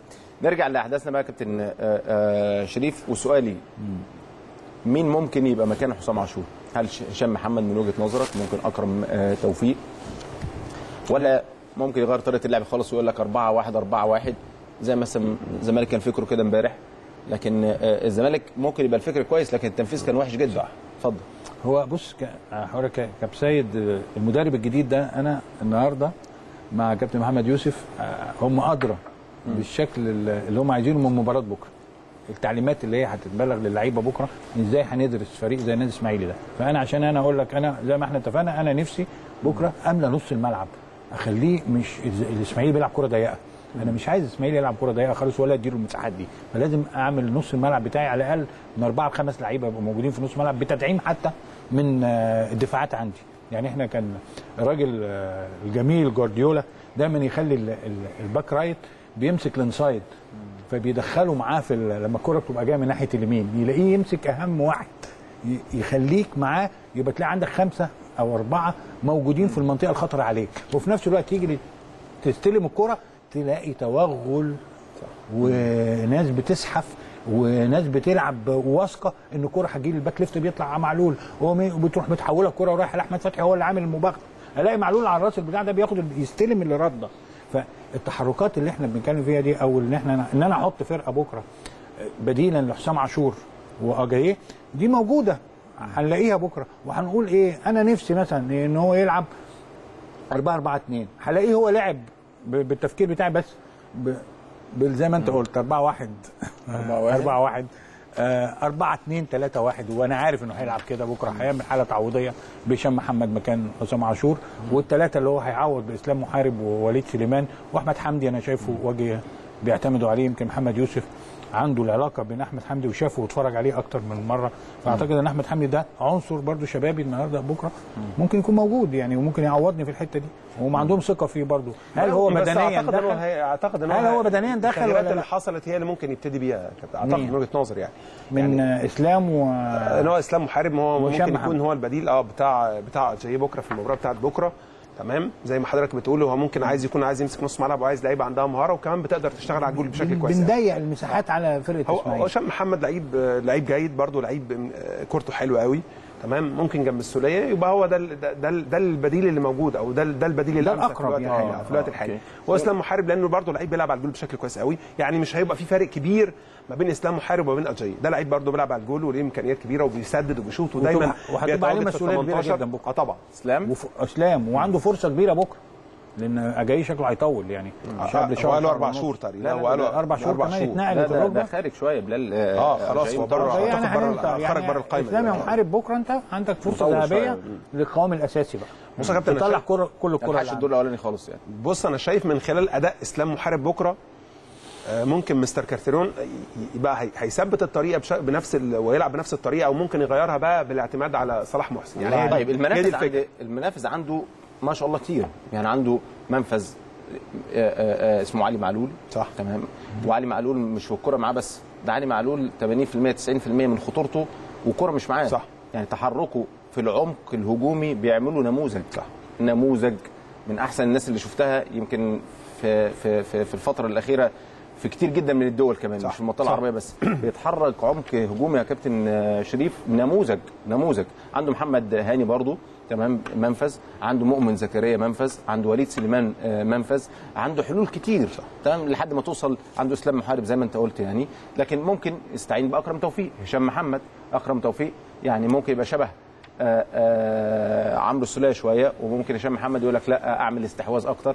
كل ده حالة اللعيبة بقى زي ما أنت ذكرت. حالة اللعيبة عنده في التدريب. هو هو القائد هو بقى ساعتها. بس أنا عايز أقول لك على حاجة على علي معلول. لازم يبقى الفرده اللي بتلعب ناحية الشمال معاه. فرده سريعه التفكير وبتفكر في علي يعني لازم آه. اسلام لو لعب بكرة يفكر في علي كتير آه. إمتى هيستلم من علي وإمتى يسلمه وإمتى يخرجه وإمتى يغطي عليه آه. يعني علي لو طلع بره لازم أنا ألاقي اسلام نفسه أو هشام محمد بين مين ناحية الشمال عشان ما تبقاش ثغرة عندي يعني لازم التفكير برضو اللعيبة النهارده آه يجوز يكون بيتفرجوا علينا بنبقى بنذاكر المباراة مع نفسنا كمان. يعني حالة تعويضية للناس الأنياب اللي عندي اللي هي بتروح تعمل لي الحاجات العرضية اللي انت بتعملها ولازم أفكر في الزيادة العددية اللي هي هتكسبني المباراة. أنا مش عايز دايما اتاخر يا كابتن سيد مع الفرق دي اللي هي في أول مب- مباراة في الدوري. انت لو أول شوط بكرة 2-0 حالك هيبقى عامل إزاي؟ استريحيه فظيعة. حتى الراجل فكره هيبقى 300% صح طبعا. محمد ده يوسف أحسن سيناريو بالنسبة لك. طبعا. أنا طبعاً. شايف السيناريو ده يا كابتن. أنا شايف أنا أنا- أتصل بيك بين الشوطين. آه أنا اتصل بيا بين الشوطين. أنا أتفق معاك كده يا كابتن. طبعا الفرق الكبيرة ضغط زي النادي الأهلي مثلا زي. كمان زي النادي الأهلي الأطراف بتاعتها بتشتغل الباكين بتوعهم بيشتغل. الفرق الصغيرة دايما هي اللي بتثبت الباكين والتوفيق عشان. يبتدوا يدافعوا. والتوفيق الفرق الكبيرة لازم. تستغل الباكين بتوعك. آه، يعني هتعمل زيادة عادية إزاي لما أنت ما تقدرش التوفيق بتاع عندك. كمان بيجي له خمس ست كور. لو توفق في واحدة ولا اثنين في أول half time بيديك الأسبقية في- التعامل مع الكرة في الدفاع في التغييرات. وحالته جيدة دلوقتي يا كابتن. آه، يعني حالته الحاله البدنية كمان. الحاله البدنية كمان حلوة واتكلمنا عنه في المباراة اللي كانت في مصر هنا انه كان أحسن لعيب في الملعب. الحالة البدنية بتاعته كمان جيدة. آه سيد حالة وليد سلمان وده برضه من الأجوان جيدة جدا. قوي الحلوه قوي اتفضل. آه للكوره الحالة شفت البدنية جاي عنده. عملها له إزاي؟ آه أنت بتتكلم على أفريقيا لكن ده في الإنتاج الحربي. مظبوط. الإنتاج الحربي آه. ده الإنتاج الحربي السنة اللي فاتت. آه. آه ده من الأجوان الحلوة جدا يعني. ده هو جنن حسام السنة اللي فاتت. بيجيب الصعب وما بيجيبش السهل. بس حسام كان واحد- بيكلم نفسه. واحد من الأجوان الحلوة فعلا. آه. آه اتفضل يا كابتن بلال فعايز أقول لك إن كمان يعني ان إن أطراف النادي الأهلي دي من الح- من الحاجات المميزة في أو الحاجات اللي كانت مميزة في النادي الأهلي. إنك بتشتغل الاثنين باكين الطرف لما بيشتغلوا عندك ويعملوا التكملة والتكملة أحمد فتحي في بعض الأوقات كان بيسجل أهداف وهو بيلعب back right. تمام؟ فدي دي حاجة تب- تحسب للأندية تحسب للعيبة اللي موجودة عندك. الإمكانيات بتاعتهم لازم تستغلها. ما ينفعش يبقى عندي اثنين لعيبة.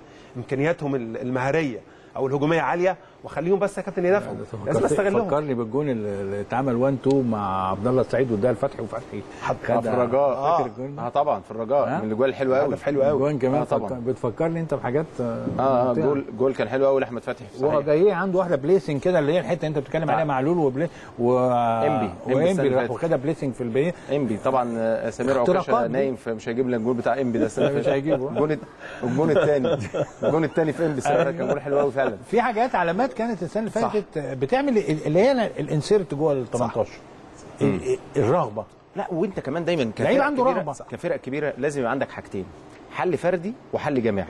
حل الجماعي بيتمثل في دايما الخطوط قريبة من بعض جدا الدنيا كلها ظاهرة لبعض الدنيا كلها بتغطي على بعض الدنيا كلها نفسها. الضغط الجماعي ال- ال- الجمل الجماعية واحد اثنين لا، ثلاثة. دي حلول جماعية التزام دفاعي التزام هجومي تفكير في التصويب. أنا انتشار مش عارف ليه هم كل ده في. الشوط. يعني- حل فردي بقى حل فردي بتلاقي في لقطة يعني الدنيا بقت صعبة جدا واحد على واحد. واحد على واحد واحد يقوم سرعة. حلل لك حلل لك صح. الدنيا كلها التفصيلة الصغيرة ديت واحد يعرف يجيب فاول قريب واحد ينقل الهجمة من من منطقة لمنطقة. واحد يشد فرقتك ينقل فرقتك من حالة دفاع لحالة هجوم وده بيحتاج ذكاء. يعني في ممكن واحد بيحس ودي خبرات برضه وشخصيات يحس خلاص إن أنت في وقت كده الفرقة الثانية هي اللي راكبة ال game شوية. فيقدر ياخد فاول في في منطقة تطلع بفرقتك وتقف كويس وتاخد لك 20 30 ثانية كده تغير الشكل. خالص يا كابتن شريف. بص يا كابتن هقول لك على حاجة. كل ده تحت مظلة وتحت فكر الحالة البدنية بتاعتي. أنا لو أه، ال physical fitness. جاهزيه اللعيبة. فيتيك سمير ليك خ- 35 بص آه، جنيه. 1 2 بص ال 1 2 بص بقى الكرة. إيه الجمال ده يا كابتن؟ آه يعني ربنا يا شيخ، يشفيه لعيب- ربنا يشفيه. ممتع. طبعا ربنا لعيب ممتع. لعيب ممتع. وشوف الثقة وشوف الحب. أنا ده اللي أنا بتكلم عليه. خلي مكان جول حلو قوي قوي. آه خلي مكان علي اجايه علي معلول. الثقة اللي بين عبد الله وإن أنا هدي لك يا إسلام يا محارب بكرة أنت لما تتعامل مع علي معلول اديله الثقة دي. إن أنت مش هتطلعه على الهوا.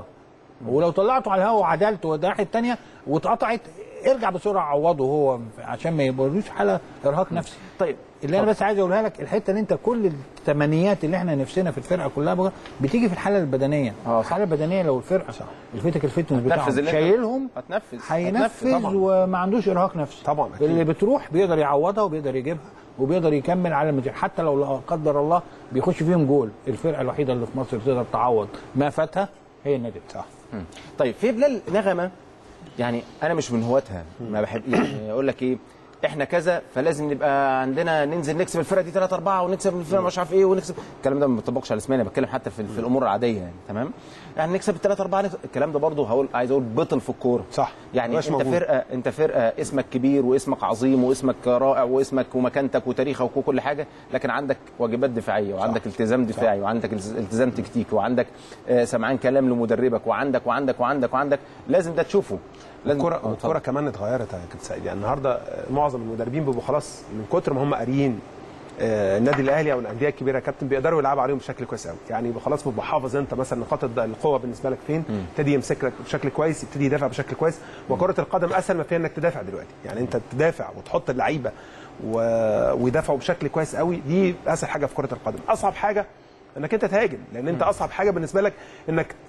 تحل إنك. تحل ال- ال- الطلاسم اللي موجودة بالنسبة لك انك تخترق الدفاعات اللي موجودة يعني النهارده مثلا بنشوف الفرق على الورق على الورق قدامنا مثلا في التشكيلات بنشوف 4 2 3 1 أو 4 3 2 1 تيجي تشوف التطبيق العملي داخل المباراه انت بتلعب 4 5 1 تقريبا يعني. بترص لعيبة كتير قوي في نص ملعب آه، بتدافع بشكل مكثف لعيبة بتحط لعيبة كتير جدا في الملعب فبقى عندك كثافة عددية عايز أنت تخترقها كنادي أهلي. فقصة إن أنت تقدر تسجل ثلاث أربع أهداف دي بتبقى من الصعب جدا حتى على الفرق الكبيره كمان الفرق الصغيرة بقى عندها ميزة إنك أنت النهارده وأنت بتشتري اللعيب أو المدير الفني بيفكر في لعيب بيفكر دايما في اللعيب اللي عنده سرعة صح. عشان يقدر يلاعب الفرقة الكبيرة اللي قدام. دي رقم واحد. خلاص ليه لا عندك سرعة. لأن أنت خلاص الفرقة الكبيرة زي ما بنقول بتعتمد على أطرافها. فدايما الطرفين بتوعك بيبقى أسهل مناطق تتضرب من عندك. عشان كده دايما زي ما أنت بتقول إنك أنت عايز واجب دفاعي واجب دفاعي كويس جدا أو قوي جدا مع الواجبات الهجومية بالنسبة لك. فلازم اللياقه اللياقة البدنية عند الفرقه الكبيرة تبقى أعلى بكتير جدا عن معدل اللياقة البدنية عند الفرقه الثانية الصغيرة اللي هي بتدافع بس. لأن وأنا بدافع بس ما بذلش مجهود كبير جدا. لكن النهارده وأنا بهاجم النهارده بتتكلم على علي معلول النهارده بيل- بيلعب من 18 ل 18 فده مجهود بدني كبير جدا يا كابتن. تشتغل عليه طول المباراة. يعني عايز تنزل تدافع وتغطي وتعمل التغطية العكسية بالنسبة لك وفي نفس الوقت عايز إنك أنت برضو في الهجمات اللي ليك عايز توصل لل 18 وتعمل الكروسات. فالنهاردة ده شغل كبير جدا مطلوب إنك تشتغله كنادي أهلي. فقصة إن أنت عايز تنزل تسجل ثلاث أهداف أو الجمهور عايز يكسب يا ريت. بس ده بيبقى في الوقت الحالي صعب جدا. مم. طب كابتن شريف يعني إحنا في الختام كده في حاجة معينة عايز تقولها؟ يعني ما سألناش فيها ما اتكلمناش فيها وأنت حابب توضحها؟ ده ولا حاجة أنا اللي كل عايز أوضحه للناس كابتن عايز يلعب 4 4 2 خلاص. لا لا أنا عايز ألعب بكرة.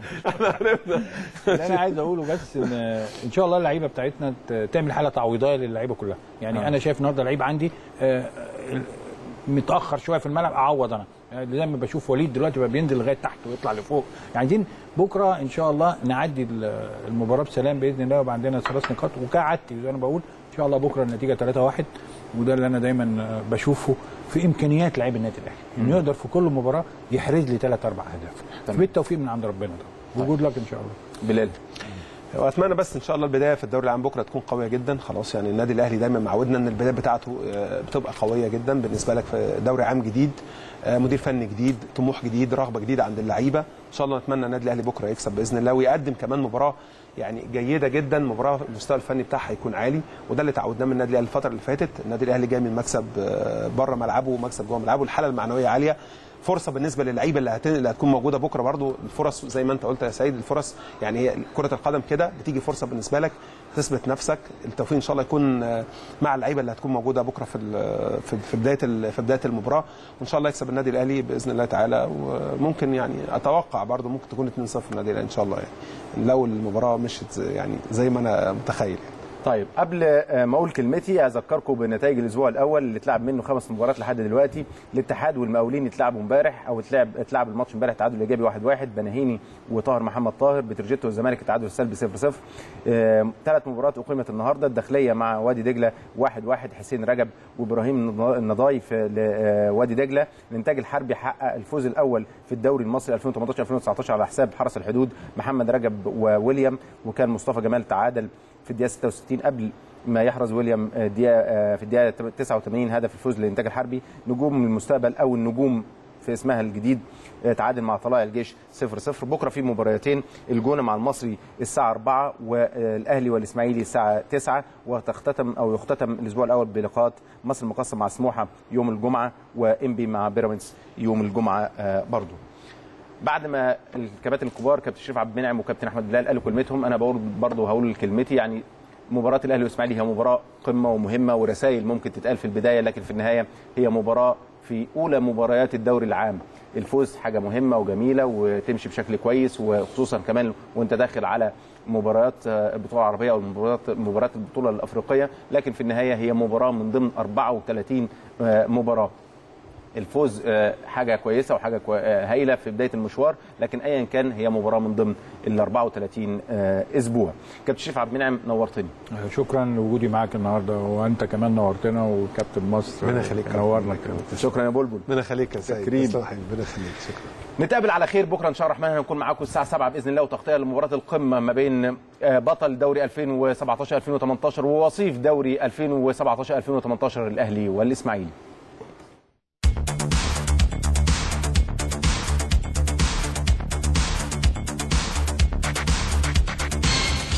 اولا بنبارك لشركه صله ارتباطها للموسم يعني أو فتره الفترة جديده مع النادي الأهلي. بنبارك لهم. آه، شركة نجحت في مجال الاستثمار الرياضي في السوق المصرية. آه، بتبذل مجهود قوي وإحنا شايفين وهي بتبذل مجهود قوي في في سوق الاستثمار الرياضي في مصر. إن شاء الله بنتمنى لها كل التوفيق مع النادي الأهلي بإذن الله. بنبارك لها طبعا على ارتباطها وتوقيع العقد الرسميه النهارده. وبنبارك للنادي الأهلي وأعضاء الجمعيه العموميه للنادي الأهلي وجمهوره على أكبر عقد في تاريخ النادي الأهلي. وإن شاء الله بإذن الله نتمنى تكون أربع مواسم جيدة للطرفين لأن في الأول وفي الآخر إحنا شركاء. في الأول وفي الآخر نجاحنا من نجاح الشركة ونجاح الشركة اللي إحنا النادي الأهلي يحصل على بطولاته. النهارده النادي الأهلي زي ما أنتم شفتوا كنتوا معانا من آه، يومين بنكرم 299 بطولة. طبعا الحمد لله رب العالمين. ربنا يتمها بالخير إن شاء الله بإذن الله. أنا سعدت جدا اللي كان مشرفنا النهارده. يعني في يمكن ما حدش واخد باله المجهود اللي بيتعمل قد إيه للحفاظ على حقوق النادي الأهلي المجهود اللي بيبذل قد إيه. وسواء برضو الشركة النهارده الشركة أبدت من اللحظة الأولى آه، تمسكها بالنادي الأهلي وارتباطها بالنادي الأهلي. الحمد لله زي ما أنتم شفتوا كان في توقيع بشكل جيد الحمد لله. في مجهود حصل في العقد دوت عشان يخرج يعني ثمان جلسات آه، فيها نقاش وفيها استفسارات. كان في جلسات بت- بتعدي التسع ساعات والعشر ساعات. الكلام ده كله عشان ما ينقلش غلط للرأي العام أو حد يخش في لا الكلام ده كله لصالح النادي الأهلي الكلام ده كله لصالح الشركة اللي بتشتغل مع النادي الأهلي. النادي الأهلي طبعا طول الناس كلها عارفة يحترم القانون يحترم اللوائح المنظمة. ما نخرجش عن النص. الحمد لله عمرنا ما بنخرج عن النص وعمرنا ما هنخرج عن النص. الحمد لله رب العالمين. هناك قوانين بتلزمنا هناك قوانين واحترام للعقود اللي إحنا بنوقعها. مع أي طرف مهما كان بنوقع العقود بنحترم كل الأطراف لأن برضو ده اللي بيجبر كل الأطراف اللي تحترمك في تعاقداتك هيبقى في رضا من أعضاء الجمعية العمومية هيبقى في رضا من جماهير النادي الأهلي وفي إن شاء الله بإذن الله بالتنسيق معاهم في إن شاء الله مفاجآت هتبقى خلال الفترة اللي جاية. إن شاء الله إحنا بس بندعو ربنا سبحانه وتعالى اللي جماهيرنا ترجع تاني المدرجات بالشكل اللي إحنا عايزينه وبالشكل ال- ال- المناسب اللي إحنا عايزينه لأن في الأول في الآخر الرياضة ما هي إلا صناعة واستثمار وتجارة. وبقت النهارده الصناعة الأساسية في سوق الاستثمار الرياضة الرياضة والسياحة. صناعتين مش ممكن النهارده نتنازل عنهم. النهارده بدون جماهير يبقى إحنا بنقضي على الصناعة دي. إحنا زي ما شايفين الناس كلها بتتحرك. إحنا عندنا عقد رهاية النهارده مضيناه. إن شاء الله بإذن الله ربنا يكرمنا بإذن الله ونمضي ونوقع العقد بتاع ال- البث التلفزيوني. يبقى أنت النهارده وقعت أكبر عقد في تاريخ النادي الأهلي وفي تاريخ أفريقيا وفي تاريخ الدول العربية. كل الناس ما تقلقوش في مجلس إدارة برئاسة كابتن محمود الخطيب بيخاف وبيحافظ على حقوق النادي في كافة المجالات في شركة محترمة تعاقدت مع النادي الأهلي وابدت رغبتها في ذلك وتمسكها ودي من الحاجة ال- ال- اللي سعداني أنا شخصيا اللي هم فعلا بيبذلوا أقصى جهد لنجاح ال- ال- التعاقد وبيبذلوا أقصى جهد اللي يبقى فيه تعاون مستمر بيننا وبينهم فدي بصراحة ربنا حاجة تطمن جدا جدا جدا. بتمنى لهم التوفيق وبتمنى للنادي الأهلي بإذن الله البطولات وإن شاء الله يبقوا وشهم حلوة هنا في أفريقيا بإذن الله ونكسب أفريقيا. ببارك لك وبارك لكل جماهير النادي الأهلي وبارك لأنفسنا بالانتهاء من توقيع عقد النادي الأهلي لمدة أربع مواسم قادمة. إن شاء الله نتوقع فيها نجاح باهر بإذن الله. العقد بيبقى محتوي على كل الحقوق التجارية للنادي آه، كل ما يخص بزي اللاعبين كل ما يخص بالأماكن اللي ممكن آه، يستحق فيها الاعلان المباريات آه، كل المواقع الإلكترونية العقد شامل متكامل. شركة الصلة لما جت مصر وبدأت نشاطها الرياضي بدأت مع النادي الأهلي لأنه آه، نادي كبير جدا ونادي آه، مش هنعرفه إحنا هو معروف بنفسه بذاته دايما وأبدا لما تشتغل مع الكبار بتكون كبير. ودايما وأبدا ال- النادي عنده قدرة على التطور. وإحنا كمان معاه بإذن الله سبحانه وتعالى. شركة الصله شركة محترفة. إحنا بنحب النادي الأهلي. آه، لدينا الرغبة إن إحنا نستثمر آه، بصورة أكبر ونطور مع بعض. وشراكاتنا استراتيجية ومش هتنتهي بعد العقد ده. عندنا أمل وطموح إن إحنا نستمر. آه، إحنا شركة آه، مصرية باستثمار سعودي 100% آه، عندهم رغبة في الإضافة للسوق المصري. وإحنا على مسافة ثابتة من جميع الأندية المصرية. بنشتغل باحترافية وعندنا أمل وطموح إن إحنا نصل للعالمية معكم. نحب طبعا نهني النادي الأهلي ونهني شركة صله ها؟ على هذا الإنجاز وبؤكد إن العقد أخذ حظه من الدراسة المتأنية العميقة بمعاونة كلا الطرفين والعقد في رأيي عقد متوازن وفي رأيي إن شاء الله هيحقق المصلحة لكلا الطرفين بما يرضيهم ويرضي الله يعني بإذن الله. الحقيقة يعني كل البنود مهمة لصالح الطرفين. الالتزامات والحقوق آه، متساوية متوازنة. وإحنا بنهني أنفسنا بشركة صلة ونقول لهم مبروك وإن شاء الله بالتوفيق بإذن الله. ودايما للأمام بإذن الله. وهي من شركات من الشركات اللي في المجال المحترمه ومل- بنهني أنفسنا بيهم وبنتمنى لهم دوام التوفيق. الحقيقة خد وقت طويل جدا. ممكن الجلسة كانت بتقعد أكتر من 8 ساعات. على سبيل المثال امبارح مثلا قعدنا لغاية الساعة 11 ونص مساء. بس الحمد لله كل العقبات تذللناها لأن كانوا الطرفين كين على إنهم حضرتك ال- العقد ده يخرج للنور وإن يعني نتمنى هي مشاركة حضرتك مش يعني بتعتبر شراكة فالاثنين محتاجين أو بيسعوا إلى إنجاح كل طرف من التاني يعني.